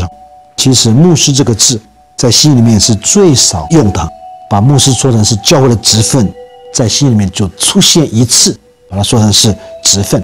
那么唯一的出现一次是在以夫所述的第四章第十一节。他所赐的有使徒，有先知，有传福音的，有教师和牧师。看到神所赐的有教师和牧师，这个是唯一整本新约里面把牧师说成为是教会的职分。其实这里第四章第四节看到说，牧师也就教师，这个教师跟牧师是一个职分，所以看到说明显，牧师应当可以做教导的工作。那除了这个。例子以外，其实在新里面还有一个经文谈到说，这个经文是把这个牧师是用动词的方式来表达，刚才是唯一的用名词的方式来表达的。用动词方式表达是新约的使徒行传的第二章二十八节，圣灵令你们做全群的监督，你们就当为自己谨慎，也为全群谨慎。牧养则叫这牧养。一个牧师，他做牧养的工作，有牧养的这行动。所以长老们，我们看到说，在应用在长老应用在监督上，他应当做牧养。所以看到说，这个是提到用动词的方式来表达。这个是在信里面提到，牧师是另外一个其他对长老的称呼。除了这以外，还有一个例子。是来自于彼得前书的第五章第一节到第二节，提到说：“我这做长老、做基督受苦的见证，同享后来所要显现之荣耀的，劝你们中间有同做长老的人，务要牧养在你们中间神的群羊。所以长老们的一个工作，应当牧养。彼得在强调说，长老们就是牧养者，是教会的牧人。同样的，彼得前书五章的第四节，到了牧长显现的时候。”你们必得那永不衰残的荣耀冠冕。再看到彼得跟长老们讲到做教导的时候，提到说，到了牧长显现的时候，所以在此彼得看见，就是把长老们当做是牧羊的教会的牧羊来看待。这个是在新约里面提到其他长老的称呼，把长老们也说成是牧者、牧羊人。除了把长老们说成是牧师以外，同时看到。就是把长老们说成什么呢？说成是监督或者是主教。这个字，bishop，有人把它分成是主教。那么这里看到长老们也是监督，或者是你要把它分成是主教。那么关于这个部分，我们看到在新里面也有明显的教导，像使徒行传的二十章十七节，保罗从米利都打发人往以弗所去，请教会的长老来。二十章第十七节里面谈到，请教会的长老来，但到了二十章的第二十八节，提到说，圣灵立你们为全情的监督，你们就当为自己谨慎，也为全群谨慎。牧养神的教会，就是他用自己血所买来的。前面提到长老，那么后面看到说，同一批人把他们说的是监督，所以很明显的，这里看到说长老，也就是监督，监督也是长老，可以看到这两者是交换的使用，这个是一个例子。那么还有一个例子是提摩太前书的第三章第一节到第二节，这样说：人若想要得监督的职分。就是羡慕善功，这话是可信的。做监督的必须无可指责。那我看到说，保罗是写给提摩太，这个时候提摩太在以弗所。那刚才我们读到说，在以弗所那个地方的监督，也就是长老。我们刚才所读的经文是来自于使徒行传的第二十章第十七节到第三十八节，所以看到说，这也是这个例子，监督也就是长老，长老也是监督。还有另一个例子是来自《提摩太前书》的第五章十七节，那善于管理教会的长老，当以为配受加倍的敬奉；那劳碌传道、教导人的，更当如此。这个地方说，善于管理教会的长老。那么看到说，在《提摩太前书》的三章第一节，人若想要得监督的职分，所以在《提摩太前书》里面，监督为长老，长老也就是监督。那第四个是提多书的第一章五节提到说：“我从前留你在克利特，是要你将那没有办完的事都办整齐掉，要照我所吩咐你的，在各城设立长老。”看到这里，保罗交代要在各城市设立长老。那么到了第六节，我们看到就变成什么呢？请大家看第六节：若有顾客指责了只做一个妇人丈夫，儿女也是信主的。没有人告诉他们是放荡不服约束的，就可以设立。到了第七节，监督即是神的管家，所以前面五节他用长老称呼，到第七节讲到同一件事情，他用监督来称呼。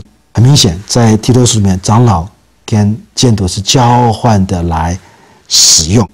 所以看到在新约里面的另外一个对监督的称呼是把它说成是什么呢？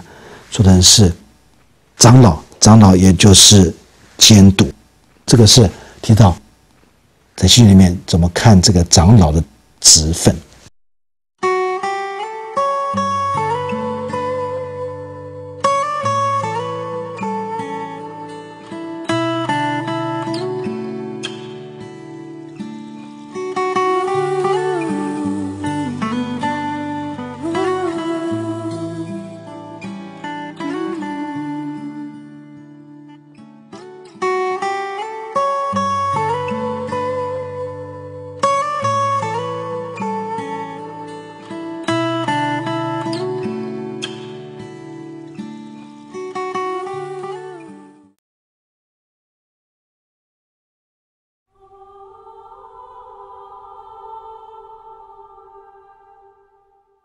教会有使徒，也有长老。谈到长老的时候，我们看到在新约里面有其他长老的称呼，像牧师跟监督。接着我们必须来谈长老的功能，长老的工作。如果我们来看新约的时候，看到长老主要有两个工作，他主要是要治理教会跟做教导的这个责任。关于这个长老们应当要做治理的这个工作的时候。保罗特别在提摩太前书的第五章第十七节，他提出这个教导。他说：“那善于管理教会的长老，所以长老应当要做管理的工作。不但这里提到长老要管理，同时也在提摩太前书的三章第四节到第五节谈到这个管理。他提到说：好好管理自己的家，使儿女凡事端庄顺服。人若不知道管理自己的家，焉能照管神的教会呢？在走在经文里面，要其实长老们应当要管理、做管理、做治理的这个工作。那么再有呢，请看彼得前书的五章二到第五节：勿要牧养这里面中间神的群羊，按着神旨意照管他们，照管神的群羊，不是出于勉强，乃是出于甘心；也不是因为贪财，乃是出于乐意；也不是辖制所托付你们的。乃是做群羊的榜样。所以看到信里面一再提到，长老们应当要做管理的工作。还有就是希伯来书的第十三章第七节这样说：从前引导你们传神之道给你们的人，你们要想念他们，效法他们的信心，留心看他们为人的绝技。看到这里，虽然长老这个职分没有被提出来，但是在教会里面的确看到他那个是可以引导这些信徒的教会的长老。所以长老们在心里面很明显提到说，他应当要治理教会，要管理教会。除了治理跟管理以外，长老还有一个责任就是什么呢？他必须要做教导的工作。在以弗所书第四章的第一十一节提到，牧师和教师，牧师就是长老，那么他应当要懂得去教导，因为这里把牧师跟教师放在一起来看待。那同样的，保罗在提摩太前书的第三章第二节，他提到就是牧师、长老们应当善于教导。提摩太前书三章的第二节就很明显的告诉我们说。做监督的必须无可指责，只做一个妇人的丈夫，有节制，自守端正，善于接待人，善于教导。所以看到长老的监督的牧师的另外一个要求，这是要教导的工作。在提摩太前书的第五章十七节再次提到说，这个长老是做教导，那善于管理教会的长老，当以为配受加倍的侍奉，那劳苦传道教导人的。更当如此，所以从这个经里面看到，这个长老也是一个责任，就是要做教导的工作。还有另外一个例子，来自提多书的一章第九节，在凸显那个长老应当做教导。一章九节提到说，坚守所教真实的道理，就能将纯正的教训劝化人；又能把争辩的人驳倒了，将纯正的教训劝化人。这个是一个长老应当有的责任。长老工作以外，看到新月也听到长老本身的那个资格。除了工作以外，新月本身也告诉我们，长老应当拥有的资格。那么这资格，其实在保罗教导里面很明显看到，是他一些生命的特质、一些性格、一些心态，都是在保罗的教导里面特别强调的。这些心态也好，或者资格也好，或者是他的生命特质也好，都是。在一段时间里面所观察的，可能是在短时间没有办法看到，是比较长期跟他同工的时候所看到的。因此，看到今天我们在选立长老的时候，或者是谈到牧师要安利的时候，必须要特别注意到他有没有这些生命的特质、这些心态。保罗特别在提摩太前书的第三章第二节到第七节啊，啊，他列出一个列单，这列单里面谈到好多长老们。应当所拥有的生命的特性。他说：“做监督的必须无可指责，只做一个妇人的丈夫，有节制，自守端正，乐意接待远人，善于教导，不因酒事事，不打人，只要温和，不争竞，不贪财。”好好管理自己的家，使儿女凡事端庄顺服。人若不知道管理自己的家，又能照管神的教诲呢？做教的不可做监督，恐怕他自高自大，就落在魔鬼所说的刑罚里。监督也必须在教外有好名声，恐怕被人毁谤，落在魔鬼的网罗里。哈，看到保罗在提摩太前书三章二到七节，他列出这些监督长老应当拥有的。生命的特质，那这个生命特质，同列丹一样，应该成为今天在选立长老的一个很好的一个引导，很好的一个指标。不是在事业上的成功，乃是应当有这些生命的特性。还有呢，提多书也是保罗那边也列出一系列的长老应当具备的那种生命的特性。提多书一章六到九节，若有无可指责的人，只做一个妇人丈夫，儿女也是信主的，没有人告他们是放荡不服约束的，就可以设立监督祭司神的管家，必须无可指责，不任性，不暴躁，不因酒事事，不打人，不贪无义之财，乐意接待远人，好善，尊重，公平，圣洁，自持。坚守所教真实的道理，就能将纯正的教训劝化人，又能把争辩的人驳倒了。再次看到提多书，这保罗所列的那个列单非常接近刚刚我所读到的提摩太前书的三章二到七节，提到监督长老应当拥有的要求，拥有那个资格的要求。那么不管怎么样，长老们应该做群羊的榜样啊！这个是很明显的，在彼得前书第五章第二节所提到的。彼得在这个彼得前书的五章看到，教会的领导者、教会的长老们应当有这样的一个生命的特性啊。彼得说：“勿要牧养在你们中间神的群羊，按着神旨意照管他们，不是出于勉强。”乃是出于甘心，也不是因为贪财，乃是出于乐意，也不是辖制所托付你们的，乃是做群羊的榜样。这个长老们应当做群羊的榜样，在他们天天的生活当中，应当做群羊的榜样。这个做榜样，教会的领导，教会的长老们要做榜样。其实保罗在其他经文一再提到。这个榜样的重要性，这个经文，特别是在哥林多前书的第十一章的第一节那边提到说：“你们该效法我，像我效法基督一样。”这是看到保罗，他可以说：“你们可以笑话我，我是你们当中的一个榜样。”同样，保罗在提摩太前书第四章的第十二节劝提摩太说：“要做信徒的榜样，教会的服侍的教会的领导，应该是做信徒的榜样。”还有呢，在提多书的第二章的。七节那边再次提到说，凡事要显出善行的榜样，所以这个很明显的，教会的长老们应当有这样的一个特质，他应当做群羊的榜样。看完这个长老资格以后，我们必须要来谈长老的就职。这就职应该是一个公开性的就职。心里面，然后长老就职应该用按手的方式来使长老们被设立。在金摩太前书的第五章第二十二节提到说，给人行按手的礼，不可急促，不要在别人的罪上有份，要保守自己清洁。所以看到按手礼应该是蛮合适，在一个长老或者监督的这个就职的里面。同时，提摩太前书的第四章第四节提到说，你不要轻夫所得的恩赐，就是从前借着预言。在众长老按手的时候赐给你的，所以按手是心里面所直接教导的一个长老就职方式啊，要按时的方式来就职。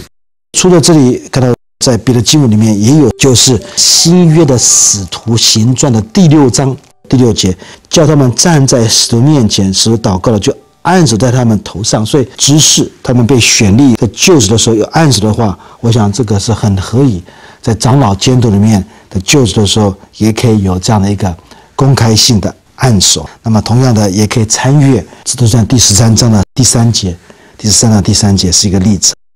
这个是在就职的时候所需要注意的部分。按手是个非常合理的方式。那么还有呢，在《提摩太前书》又提到一件事情，我想是在就职长老监督很合适的一个需要，必须要。了解的一个部分，就是在提摩太前书的第三章第十节，保罗特别提到说，这等人先要先受实验，若没有可责之处，然后叫他们做执事。所以执事要被设立的时候，要被就职的时候，看到是要先受实验，被实验以后，被评估以后，才给他安立成为执事。所以我想，这个同样的应用在。长老的这个就职里面，长老的设里面，他们也需要做评估，就像保罗所说的受实验啊。我想这个是非常合理的哈。还有一个经文是来自于哥林多后书的第五章十六节，所以我们从今以后不凭着外貌认人，虽然凭着外貌认过基督，如今却不再这样认他的。这里也给我们一个原则哈，我们在不管是选立长老。或者选立执事，不是看外貌啊，来是应该看到他生命的流入，这个也是一个非常重要的原则。那么还有呢，在路加福音的第六章第十二节到十三节，也给我们一个原则，在关于设立长老或者执事所需要注意到的一个原则。这个原则是来自于基督耶稣的一个原则。这里提到说，那时耶稣出去上山祷告。整夜祷告神，到了天亮，叫他的门徒来，就从他们中间挑选十二个人，称他们为使徒。耶稣在挑选十二个使徒的时候，他整夜祷告。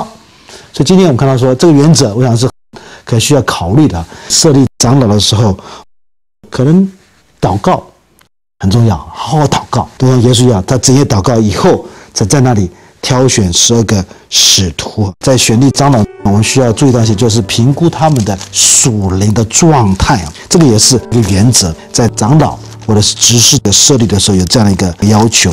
这个怎么看到呢？是来自于《使徒行传》的第六章第三节到第五节。虽然这里看到说是应用在执事的里面，但是我相信也可以应用在长老的里面。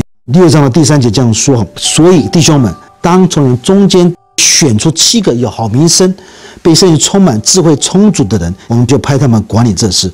所以选的中间一个重要的属于原则是，他们应该有好名声，他们有被圣灵充满。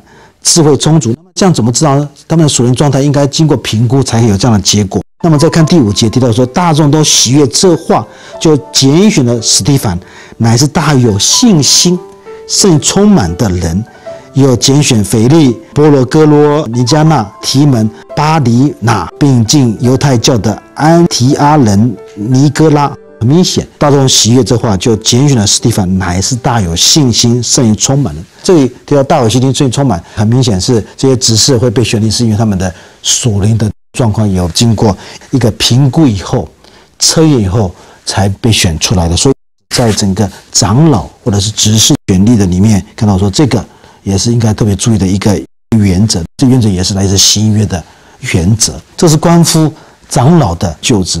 那接着我们来看，呃，另外一个新约里面所明显提到的另外一个职分，不但有长老，同时还有执事。然后执事的时候，我们必须要先来谈执事的资格。其实刚才我们谈到长老的时候，也多多少少提到执事的这个部分。这个时候我们在这里比较明显的谈到这个执事的职分。执事这个字，我们看到说在原文里面的意思就是仆人的意思啊。执事也就是仆人，也就是服侍人的那个仆人。在腓立比书的第一章第一节里面谈到执事。但是保罗在这经文里面没有提到执事的资格，但有提到执事这个职分。保罗这样说：基督耶稣的仆人保罗提摩太写信给凡住腓利比，在基督耶稣里众圣徒和诸位监督、诸位执事。所以保罗写腓利比书的时候，不但提到诸位监督，还加上在腓利比教会里面还有诸位执事。会看到那时候有执事哈，执事的功能工作在这个经文里面没有提到，但是有执事。在提摩太前书的第三章的第八节到十三节谈到执事的资格。第八节这样说：做执事的也是如此，必须端庄，不一口两词，不好喝酒，不贪不义之财，要存清洁的良心，固守真道的奥秘。这等人也要先受实验，若没有可知之处，然后叫他们做执事。这里谈到执事应当拥有的资格，但是这里面看到没有很明显谈到执事的工作。这个执事的工作要怎么看到呢？那么多多少少从刚才保罗所列出来的资格的里面，可以看到一些端倪。一个执事在教会里面，他的工作内容应该包括什么呢？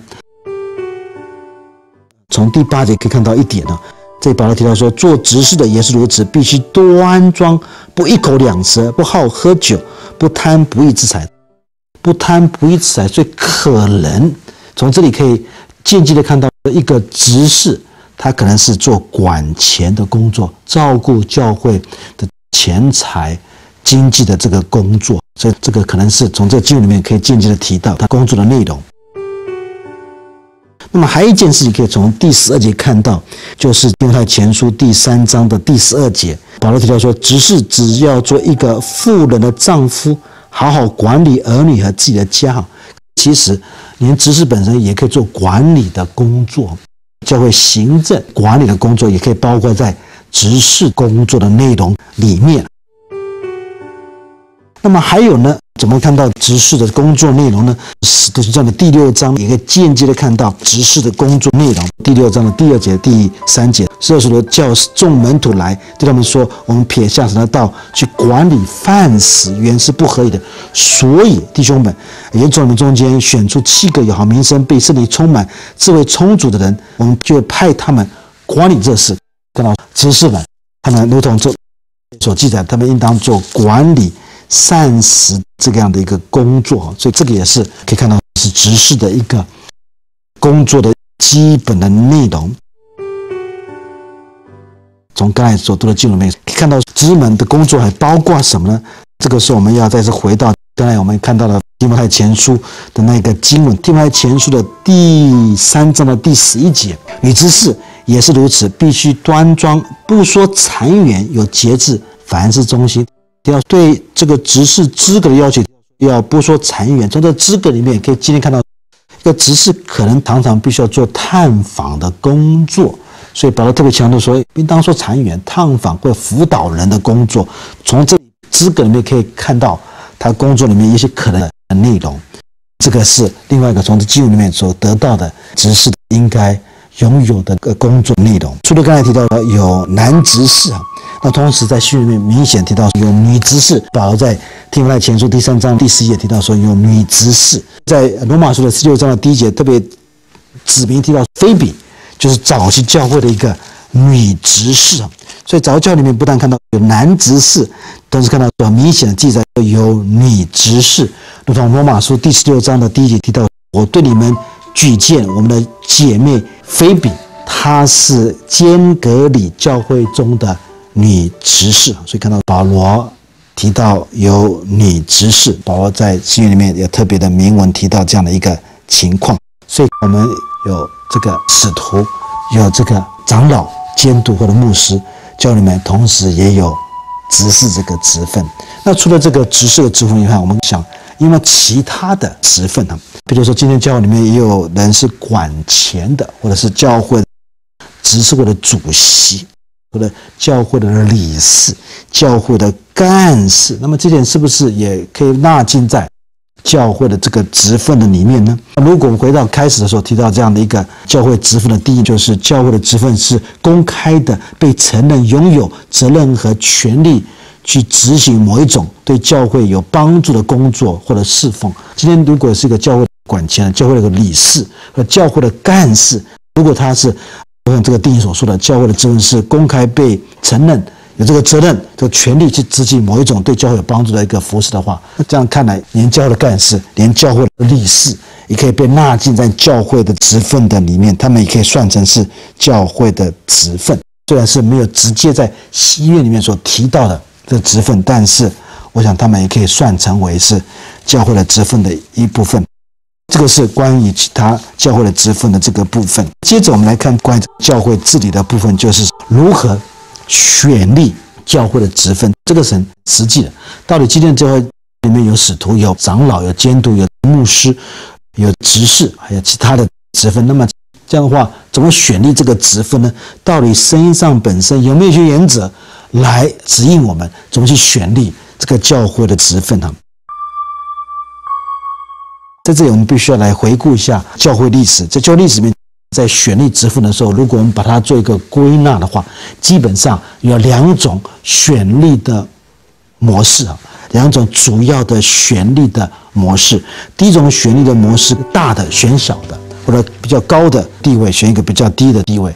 这样的一个选立模式，主要是在罗马天主教会里面是用这个模式，或者东正教会里面用这个模式啊，这个是一个非常主要的模式。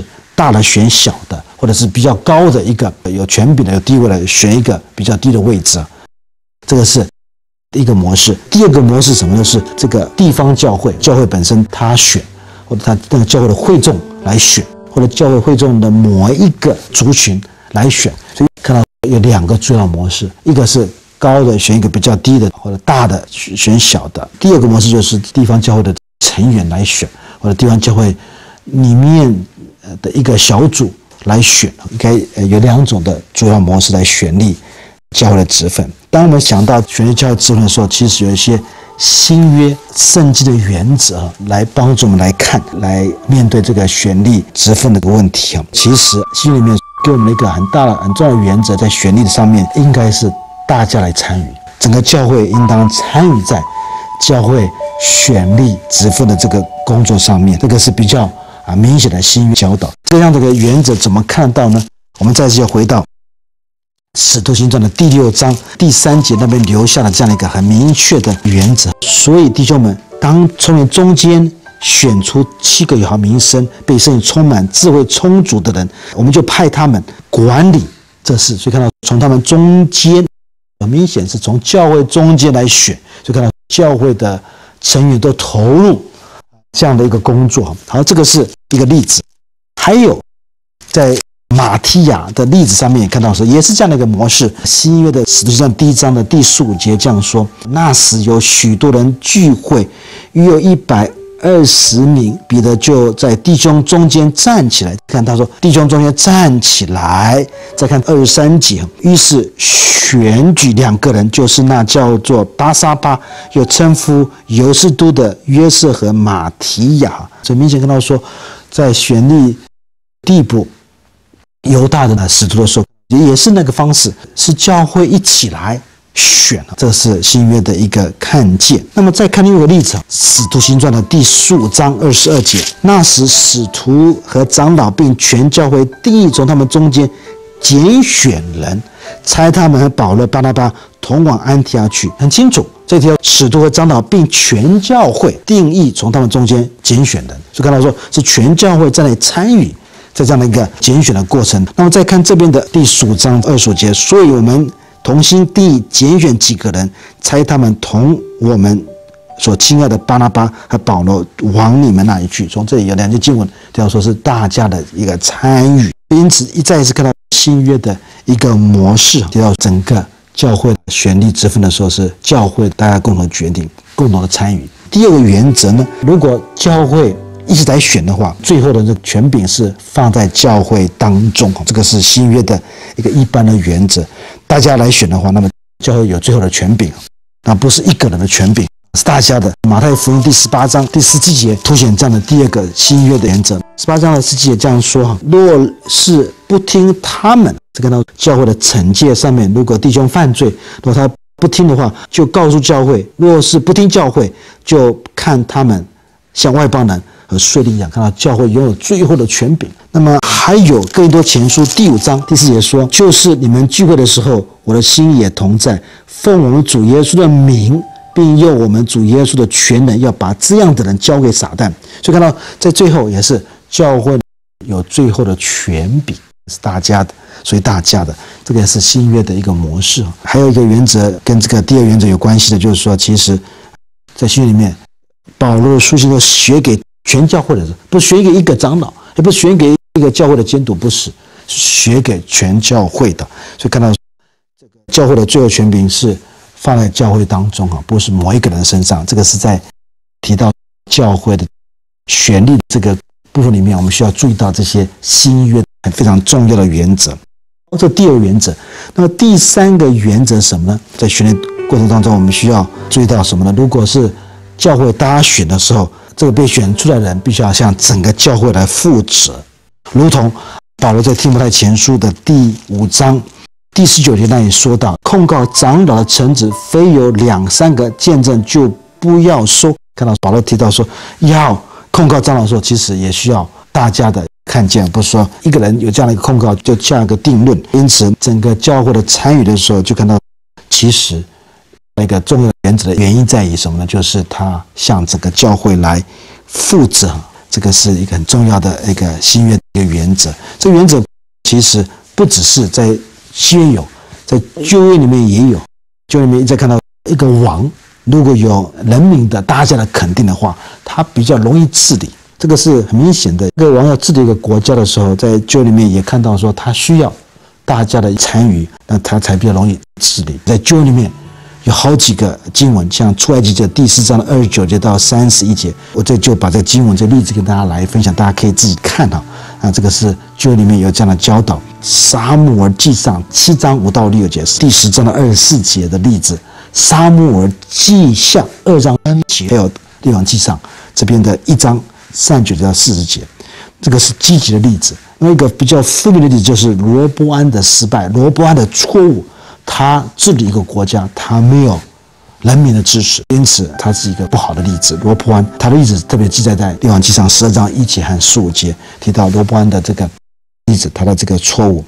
那么，我想这是在选立教会支付的时候，我们需要注意的一些重要契约的这个教导。还有呢，我想选立这个支付的时候，可能有一个需要注意的话，他们支付本身应该有一些限期，这也是个原则。常常我们听到说长老是终身制，其实一个很好的方式应该是给他一个限期，做了几年可以休息一下，那再一次让教会来肯定他，再选一次嘛，无所谓，再肯定他。如果他是合适再做下去的话，那再选定他。所以每段时候有一个比较负责任的一个再肯定的方式比较好。很多时候在现在很多中国的教会里面，长老就常就很自然的选立就是终身制。然后他是一个教会的长老，就变成全世界长老，有这样观念。还有他是一个教会的长老，他 从这个州里面到别州，或者从这个城市到别的城市，他一直做长老，很奇怪哈。应该是他到个新教会，应该被那个教会肯定，被那个教会再次接受，这才是啊，我想是比较合乎心意的一个大原则。所以在这个选立长老的过程中间里面，其实西约本身也留下一些非常明显的原则，帮助我们来面对这个不同的教会职分的选立。那我们可以真的是走在生意的原则上来看待这些的教会的职分。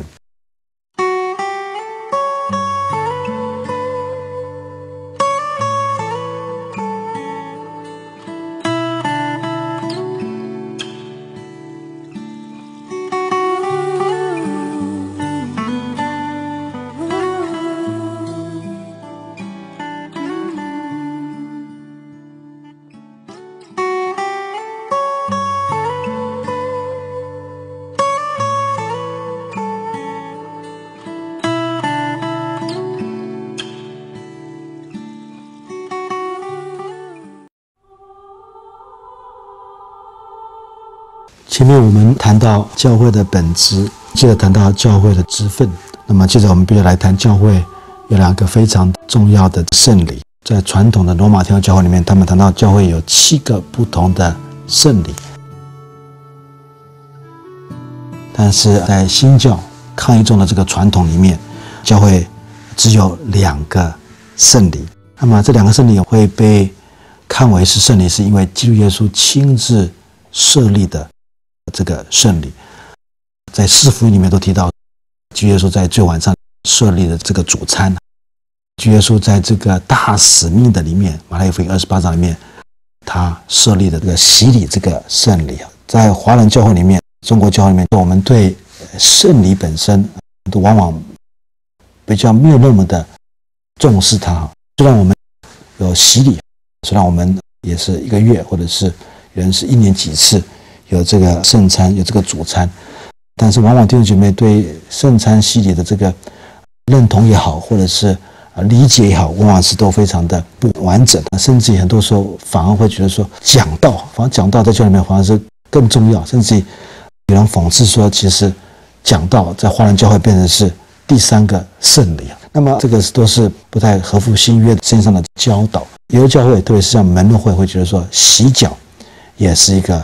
圣礼，当然，一般在新教的传统里面，我们还是坚持两个主要圣礼，就是圣餐跟这个洗礼。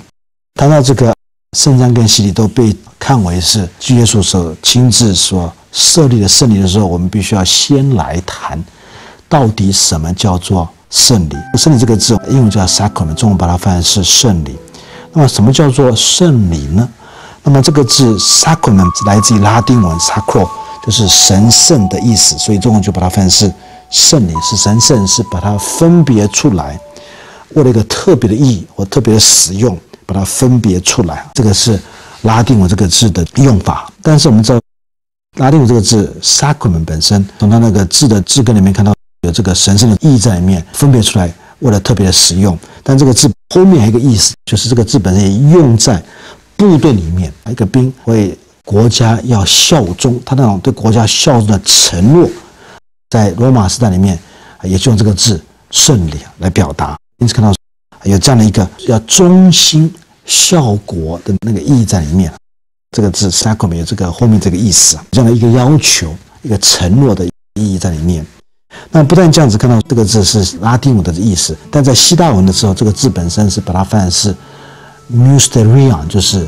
Mystery 的意思，英文是把它翻译是奥秘。所以在希腊的了解里面，这个圣礼是一个奥秘，奥秘是一个过去隐藏，现在被解开的那个奥秘。所以这个是希腊文的用法。看到说这个字 sacrament 在教历史里面，看到除了这个字根希腊文跟拉丁文的字根的意思以外，都在在这个教历史里面看到有这样的意思。圣礼本身可以被了解成为是可看到的话，可看到的道，可看到神的道，或者是可以看到的体现的这个恩典呢，来演出神在基督里的里爱的见证。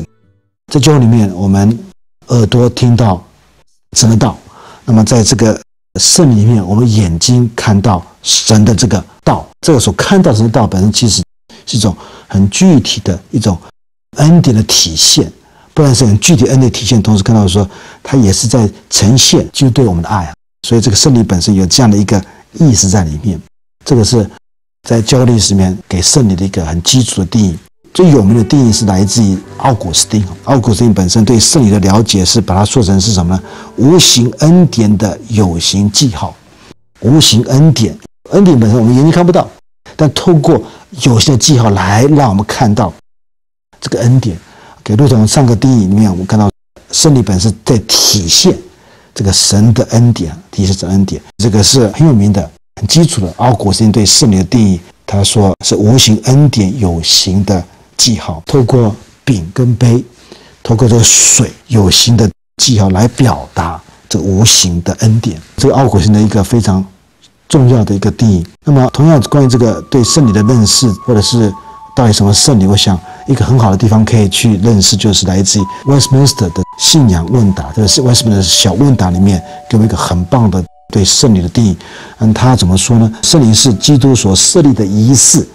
用有形的记号将基督和新约的益处向信徒表明，这定义本身很明显是来自于背景，来自于奥古斯丁哈，印证并应用在他们的心里。我们再再说一次，圣灵是基督所设立的仪式，用有形的记号将基督和新约的益处向信徒表明、印证并应用在他们心里面。很明显，这里看到圣灵一定是基约束所设立的，不管是洗礼也好。或生产也好，它重点在于什么呢？就是一个有形的记号，将基督和新约的益处，来向信徒来表明，信徒来印证，向信徒来应用在他们的心里面，然后这个定义就更清楚，到底什么叫做圣礼。好，那么这个是很基础的，从定义来了解。如同刚才提到教会什么的时候，我们也从定义来了解。这个时候我们必须要再进一步谈到。这个圣礼在了解上的两个取向，在传统教会里面看到说，其实在谈圣礼的时候有两个取向，这两个取向本身都很重要。如果我们只是顾到一个层面的话，可能就会导致于不太平衡了。那往往在整个教会传统里面，很多时候我们在谈圣礼的时候，往往会透过圣礼来强调神恩典的客观事实，这个是一个取向。那另外取向什么？就是强调我们信心回应的重要。所以谈到圣礼的时候，其实有两个方面，一个是比较强调那客观的事实，一个强调主观的回应，这两面，那这两面都很重要，不能只谈了一面啊。在罗马教里面，比较是强调这个圣礼的客观的事实。客观事实什么意思呢？就是圣礼本身就是有果效，它的果效不在于这个施礼者，不管是神秘人员也好，或者是牧师也好，呃，他的施礼者，他本身客观上、客观事实上就有果效，所以的果效不来自于施礼者。那这样的一个看法，我们知道很主要是在罗马教会里面，他们特别讲到说，这个圣餐也好，洗礼也好，它有客观的意义在里面，客观的果效在里面。在罗马教会里面谈到这个饼跟杯，透过神明人员分别为圣以后，它就变成耶稣基督真实的身体、真实的血，看起来像饼，有饼的这个特质、那个口感，但是其实已经变成耶稣的身体，它客观就这样事实。这个杯也是。看起来像葡萄酒，吃也像葡萄酒，但是其实它已经变成耶稣基督的血了。所以这个是罗马天主教里面比较强调那个客观的圣礼本身的意涵。那么反过来看到，也有人会强调说，其实胜利本身重要在哪里？不是它客观的事实，重要是人的回应，那回应才重要。因此我们看到，人有以信心来领受这个呃圣餐，或者是经过这个洗礼，他必须要在公开面前有这样一种。表态有这样的一个行动，所以这个是我们看到在圣礼的时候，这两方面都非常的重要。如果太强调这个客观的事实的话，就贬低了这个主观的信心的回应。那同时看到太强调客观的事实的话，就很多时候会好像局限圣礼的自由的工作，这是另外一个问题。这是太过分强调客观所所带来的结果。那同样太强调主观的事实的话，就忽略了其实神的恩典本身有它客观的意涵在里面。所以谈到圣灵的时候，一方面我们比较强调它客观的意义，同时一方面强调人的信心的回应。谈完这个部分以后，我们必须要来谈，就是第一个很重要的这个圣灵就是主餐了。谈到主餐的时候，我们必须要从这个旧历史里面来看这个主餐呢。前面。我跟大家提到说，教会本身不能没有这个圣礼，主耶稣本身亲自设立了两个圣礼，是教会必须要去实实施的两个圣礼。第一个圣礼，我们必须要来看的就是这个主餐啊。谈到主餐的时候，我们必须要从这个旧历史的背景来看这个主餐，看这个圣餐。很明显，这个主餐是耶稣基督所设立的，在马太福音的二十六章的二十九节，就让我们看到。这明显的教导，二十六章的二十六节到二十九节，主耶稣在最后晚上的时候，他这样子说：这边呃马太记载说，他们吃的时候，耶稣拿起饼来祝福，就拨开递给门徒说：“你们拿着吃，这是我的身体。”又拿起杯来，注释的递给他们说：“你们多喝这个，因为这是我立约的血，为多人流出来。”是最得瑟，但我告诉你们，从今以后，我不再喝这葡萄汁，直到我在我父的国里同你们喝新的那日子。这个经文里面很直接的说，我们为什么就会会庆祝这个主餐？因为是基督耶稣亲自所设立的。那不但基督耶稣亲自所设立，同时保罗哈也加上他从耶稣就领受这样的一个传统。在哥林多前书的这一章的二十三节，保罗很清楚，他对主餐的认识是从基耶稣那边亲自所领受的。哥林多前书第十一章的二十三节，我当日传给你们的，原是从主领受的，就是我主耶稣被卖的那一页。看保罗特别加上一句话，原是从主领受的，所以他强调说这个传统。是从主耶稣那边所传过来的哈。第十一章的二十五节，保罗又这样说：饭后也照样拿起杯来说，这杯是用我血所立的新约，你们每逢喝的时候要如此行，为的是纪念我。看到很明显，保罗强调他对主餐的认知是从耶稣那边。所领受的。那么谈到主餐的时候，我们看到说，其实我们必须要从旧约的背景来看，它不但是耶稣就所设立的，但是它也有它旧约的这个背景在里面哈。那在旧约里面看到说，其实有蛮多的例子，在旧里面，神的选民他们是在神的同在里面吃跟喝，所以在旧里面，在神的同在里面，以色列人必须要在神面前吃跟喝。那这吃喝的这样的一个例子，可以在主埃及记的第二十四章九节到第十一节那边，让我们看到摩西亚伦拿达亚比富比以色列长老中的七十人多上了山，他们看见以色列的神，他脚下仿佛有平铺的蓝宝石，如同天色明镜，他的手加害在以色列的尊者身上，他们观看神，他们又吃。又喝，在旧里面提到以色列人在神面前又吃又喝，这个是很明显在旧约里面的这样的一个传统。不但这样子，在旧里面，那我们看到每一年以色列人必须要奉献献上十分之一他们所收割的、所收成的，这个是按照摩西律法所明显的规范。《生命记》的第十四章二十三节。到二十六节有这样的记载，谈到主上的这个就业的背景，看到说每一年必须要把他们的收成要奉献在里面。其实圣餐本身也是对神一种奉献。生命记的十四章二十三节这样说：又要把你们五谷、新酒和油的十分之一，并牛群、羊群中头生的，吃在耶和华你神的面前，在耶和华神面前吃，就是他所选择要立为他名的居所，这样你可以学。学习时常敬畏耶和华你的神。再看这边后面的二十六节说：“你用这银子随心所欲，或买牛羊，或买清酒、龙酒，凡你心所想的都可以卖。你和你的家属在耶和华你神的面前吃喝快乐。”看到再次，这个也是在律法里面所要求的，把他们所收割的，大家神面前十分之一。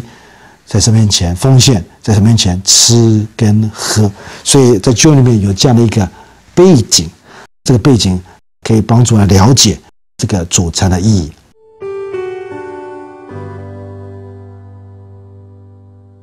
耶稣他亲自所设立的这个主餐，我们从整个救恩历史来了解主餐的这个定位，主餐的这个背景，它的救恩背景本身跟以色列人在神面前吃喝有关系。那么我们特别看到，就是在《生命记》第十四章二十三节到二十六节的经文里面所呈现的，在更早亚当跟夏娃在伊甸园的时候，看到他们也在神面前在那里吃跟喝，因此。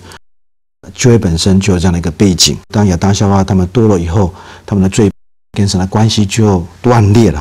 但是神继续容许所以他的人在他面前吃跟喝。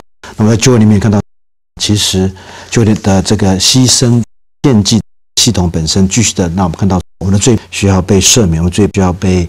洁净需要有这位救主耶稣基督来帮我们做救赎的这个工作，所以今天当我们在庆祝这个主战的时候，再次提醒我们，其实基督耶稣已经为我们付出这个最高的代价，因此我们不需要不需要每年在拿神面前来献祭哈。这个献祭所提醒我们就是，那整个赦罪的系统本身是一个不完整的系统，他们是在期待将来那个弥赛亚来的时候，整个罪必须要在。基督耶稣的救赎里面被处理，那么因此看到主餐本身有一种向前看的事实，向前看就是看到就将来我们在神面前还是继续的要吃跟喝。但是当我们今天在庆祝主餐的时候，其实我们知道我们的罪已经被赦免了。主餐本身再次肯定这个事实，这个是整个主餐的救恩历史的那个背景。接着我们必须要来了解，就是主餐的意义。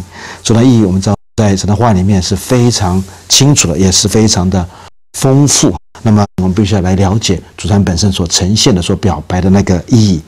很明显的，主餐本身所表白的就是基督的死。当你看我参与这主餐的时候，其实这个行动象征，象征就是基督耶稣本身，他已经为我们实在十字架上，他已经付出那个罪的代价。所以，当这个饼被剥开的时候，我们看到说，象征基督耶稣本身的身体被剥开；当这个杯被导入的时候，象征基督耶稣血为我们导入。因此，主餐本身其实是在表明，在宣告耶稣基督的死。那我们来看一下关于这样的一个真理的教导，特别来自于。哥林多前书的第十一章二十六节，这里保罗说：“你们每逢吃这饼、喝这杯，是表明主的死，只等到他来。”所以主餐本身的第一个意义就是他在表明主耶稣基督的死，只等到他来。不但主餐在表明主耶稣基督的死，同时我们看到主餐本身也在那里呈现另外一层的意思，就是什么呢？我们参与在基督之死的祝福。里面不但表明基督的死，同时你看我也参与在基督之死的这个祝福的里面。在马太福音的第二十六章的第二十六节那里，就耶稣在设立这个主证的时候，他就命令他的门徒们必须要这样做。二十六节说，他们吃的时候，耶稣拿起饼来祝福，就拨开递给门徒说：“你们拿着吃，这是我的身体。”这里看到耶稣就命令门徒们说：“你们拿着吃，这是。”我的身体，所以当你和我，我们伸出我们的手，拿这个饼，拿这个杯的时候，其实这个行动本身是在表明，我们在那里领受基督耶稣这个死所带来给我们祝福。所以，这行动有它的一个深层的意义。当我们领受这个饼、领受这个杯的时候，我们也在那里分享耶稣基督为我们死所带来的这个祝福。所以主餐本身，它也有这样一个意在的里面，不但是表明基督的死，同时，这个行动，这个参与的行动，这种领受的行动本身，在表明，我们也跟基督耶稣在十字架上我们做成的这个祝福是有关系的。不但你看到说，是参与在基督之死的这个祝福里面，同时看到说，这里还有第三层的意义在里面，就是它是一种属灵的喂养，如同一般的。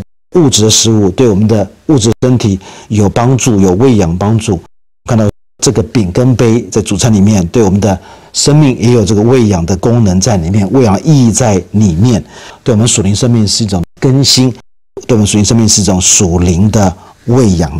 那么这个属灵喂养的教导是来自于约翰福音的第六章有五十三节到五十七节，耶稣说。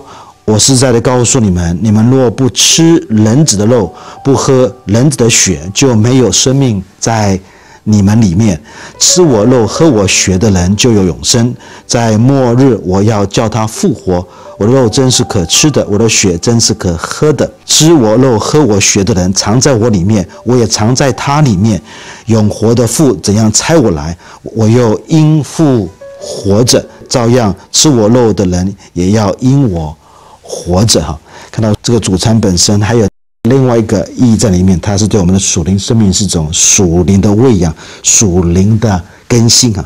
当然，这里看到耶稣本身不在那里要我们真正吃耶稣的肉，真正喝耶稣的血，他不是在强调那种字面的意思，字面的吃，真实的来吃他的肉、喝他的血。重要是什么？我们是一种属灵参与在他所带来的那种的属灵的。祝福，所以对我们的属灵生命有这种属灵喂养的意义在里面。这个是主餐所带给我们的第三层的意义。不但这样子看到主餐本身，还有第四层的意义。它不但是一种属灵的喂养，同时看到这个喂养是在我们参与这个主餐里面所领受的。那么也看到它对我们信徒的合一也有它的意义在里面。当基督徒本身参与在主餐的时候，我们看到这是很清楚的一个象征，很清楚的一种。表达在耶稣里面，我们是一家人，我们是一个合一的一个记号。这个合一的记号，我们看到保罗在哥林多前书的第十章的第十七节，特别凸显这种合一的意义在里面。保罗说：“我们虽多，乃是一个饼，一个身体，因为我们多是分受这一个饼。”看到我们乃是一个饼，一个身体。我们在旧耶稣里面是一家人了。所以主餐本身所表达的是，在耶稣里面，我们都是合一的。那么，除了这世界主餐所呈现的那个意义，同时看到说，其实主餐本身也提醒我们，就耶稣在我们生命中间所做成的。那么，这做成什么呢？这个主餐对信徒有进一步的肯定，进一步的提醒。那么，这个进一步的肯定跟进一步的提醒是什么呢？就是提到基督耶稣本身在主餐里面所要对我们的。肯定是他对我们的爱的肯定，就是说爱我们的那一个肯定。因此，当你和我参与在主餐的时候，我们被邀请到到这个主桌子的面前的时候，我们再次被肯定，基督耶稣对我们的爱。所以，主餐有这样的一个意义在里面：基督耶稣对我们爱的那个肯定，不但肯定基督耶稣的爱在我们身上，同时基督救恩的祝福存留给我们的肯定，基督耶稣。他邀请我们带到他面前的时候，他在那里告诉我们说，他其实要把各样的祝福导入在我们的生命里面。主餐本身其实是那个吃跟喝，其实是在那里先尝到将来在永恒里面的那种，在君王面前那种的宴席，所以是先尝到在永恒里面我们要所享受的，在神面前的那种吃跟喝的那个大宴席。因此，主餐本身。它对我们基督来讲是一种祝福的保证，祝福的一种肯定。主餐本身也提醒我们，我们对基督耶稣信心的肯定，我们的行动，我们以信心来回应，我们以信心来领受这个杯跟这个饼。那么，我们看到这个杯跟饼的领受的这个行动本身，是我们对神依靠的那个肯定，依靠他，我们不得不依靠他，一切祝福都来自于他，所以。这个主餐本身也有这层的意义在里面，我们对基督信心的那一种的肯定。好，这个是主餐的意义哈。我们看到说有好几层的意义在里面。接着我们必须要来谈的是什么呢？就是基督如何在主餐里的同在这个问题。我们知道，在一般的信徒中间可能没有特别去注意到，我们怎么去看或者思考就耶稣的同在。关基督耶稣在主上的同在，特别在改革时期，在中国时期是一个非常非常有争论的一个问题。那么，到底我们要怎么去思想这个问题？这个问题其实有不同的看法，在这里跟他谈到四种主要的看法。第一种看法是来自于罗马天主教的这个看法，第二种看法是来自于路德派的看法，路德宗的看法。那么第三种看法是来自于改革中的看法，第四种看法是其他的观念，就是一般大部分华人教会所接受的看法，就是所谓的慈运里的看法。这个是我们等一下会跟大家来进一步的来了解。传统在罗马教会里面，他们怎么看基督耶稣他的同在，基督耶稣的灵在？传统罗马天主教的这个看法是被说成是。话直说，或者是辩直说，哈，在罗马教会的教导就是，当这个饼跟杯被神秘人员分别为圣以后，这个饼跟杯就变成真实的耶稣的身体，真实的耶稣基督的血。因此，那个领受这个饼跟杯的那个信徒，他真的是在喝耶稣的血，真的是在吃耶稣基督的身体。所以，当神秘人员把这个饼跟杯举起来的时候，一般在罗马教会的弥撒的时候，就看到这个神秘人员这样一个行动。当他把这个饼跟杯举起来的时候，他在那里说：“这个饼跟杯其实就变成了真实耶稣的身体，真实耶稣的血。你和我在那里所吃的，就是耶稣的身体；所喝的，就是耶稣基督的宝血。这个饼跟杯其实外表看起来它还是饼，这个杯外表看起来还是一个。”葡萄酒或者葡萄汁，但是当神秘人员把它分别为圣的时候，它就变成了真真实实的耶稣的身体，真真实实的耶稣的血。这个是非常传统的罗马天主教会对基督耶稣身体组成的同在灵在的一个了解，所以他们所看到的、所教导是，基督耶稣就在那边，基督耶稣就在那里，我们在那里吃他身体，喝他的血。那么这个是传统罗马天主教的看法。不但这样子，我们这里继续跟他谈到，就是第二种看法，就是路德宗的这一个看法。马丁路德的看法跟罗马教的看法有它的不同的地方。路德本身其实不能接受传统罗马天主教的这个变直说或者化直说，他觉得说这个这个看法太魔术的，太不可思议的，怎么会这个饼跟杯变成了耶稣基督的真实身体，耶稣基督真实的？血，但是路德在思考基督耶稣设立主餐的这个教导的时候，他也相信，当基督耶稣他拿起饼来说：“这是我的身体。”路德会觉得说，我们应当用字面的方式来了解基督耶稣的确，当他拿起饼来的时候，他就指着他身体来说：“这个饼就是他的身体，这个杯就是他的血。”因此，路德也相信，基督耶稣的身体同在、临在这个饼跟杯的。里面饼跟杯的旁边，饼跟杯的上面、下面，这个是路德的看法，路德中的看法。所以，他真正相信基督耶稣的身体就同在在饼跟杯的那里。我们看到是强调基督耶稣身体的这个同在，基督耶稣的身体的灵在饼跟杯的旁边、里面、上面、下面。这个是非常传统的路德中的看法。当我们看到路德的看法。强调耶稣身体的同在的时候，我们看到说有个问题，在整个路德派里面圣餐的这个争论里面，就出现了一个问题，就是耶稣本身他升天的时候，他身体也同时升天的。那耶稣升天以后，他身体在天上，怎么可能同时也在地上呢？他复活的时候，他升天的时候，他的身体就到了父神的右边呢？所以怎么可以说他的身体同时也在？这个身上的饼跟杯的旁边、里面、上面、下面呢？那么我们看到路德中的这个答复是什么呢？就是他们用基督耶稣的片在来说明这样的一个看法。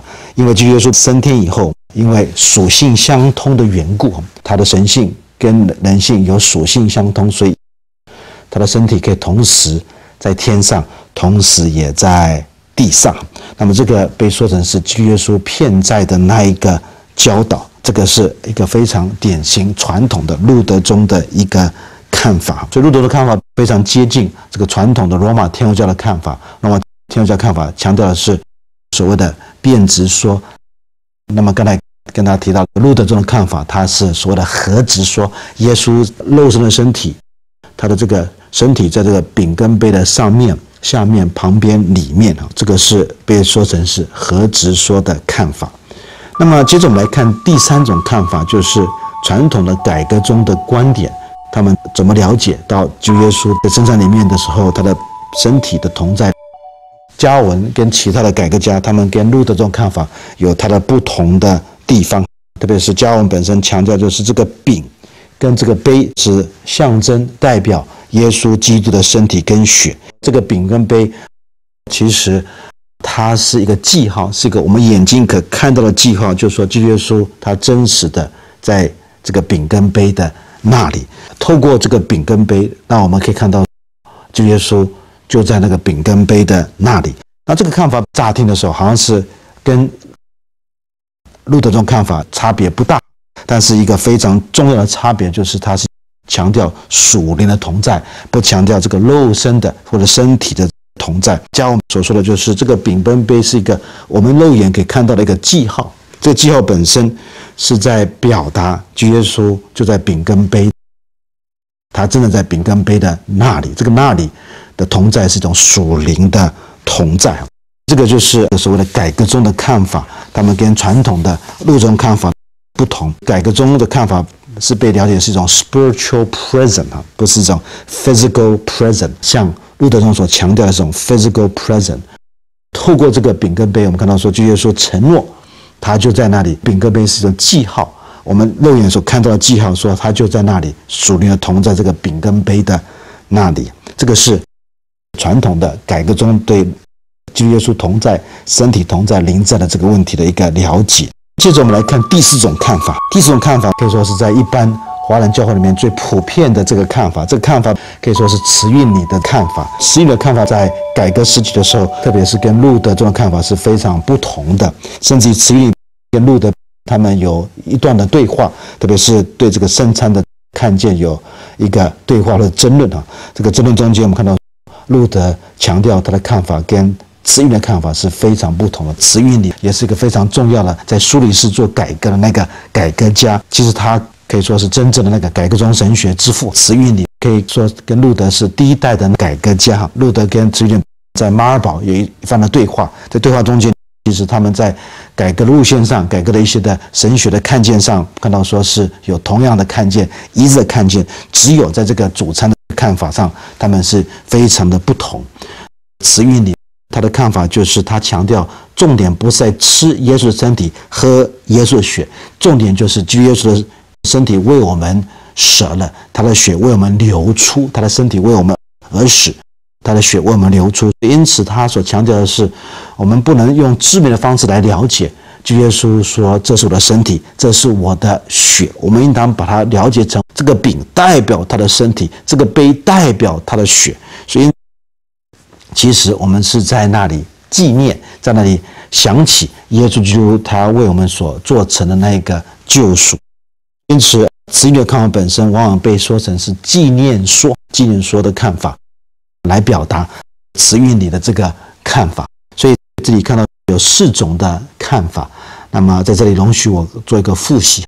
第一种看法就是罗马教会的看法，强调这个饼跟杯，它透过神秘人员的这个祝福以后，它就变成的真实的耶稣的身体，真实的耶稣基督的血。这个看法被说成是变质说，或者是化质说。那路德看法跟传统的罗马教的看法也有它的区隔在那里，有它的不同在那里。路德本身他也相信，我们应当用致命的这个观念来解释耶稣就是在设立主餐的时候的那一些的教导。当耶稣举起饼的时候，他说这个饼就是他的身体，这个杯就是他的血。路德本身会用致命的方式来了解，就耶稣设立晚上的。那些的话语，所以路德会相信，主耶稣的同在、灵在是在饼跟杯的上面、旁边、里面。因此，这种看法是被了解成为就是何直说。路德所强调的是，主耶稣他的肉身身体的那种的同在，这饼跟杯的旁边、上面、下面跟里面。那么，加文跟其他改革家的看法，也是跟路德的看法，可以说第三种看法也有它的不同的地方。加文的看法。比较强调那种属灵的同在，跟路德这种看法有它的不同。路德看法强调那种肉身的身体的这个同在。加文本身会说，其实我们相信，就耶稣他的确同在。怎么相信呢？因为我们看到说，这个饼跟杯，它是一种肉眼可以看到的计划。这个计划本身在表达，在表达什么？主耶稣就在饼跟杯那边。所以因此看到这个同在是一种属灵的同在，这个是第三种看法。第四种看法就是所谓的纪念说，这个饼跟杯其实是代表耶稣身体，代表耶稣基督的血。因此，在这个主餐的时候，我们是在纪念主耶稣基督，重点是纪念主耶稣，而不是在那里谈到他他的身体是不是在这个饼跟杯的上面、下面、旁边，或者是这个饼跟杯的里面啊。这个是第四个看法。所以有四种不同的看法来了解、来认识这个基督耶稣在主餐的同在跟灵在这个问题上面。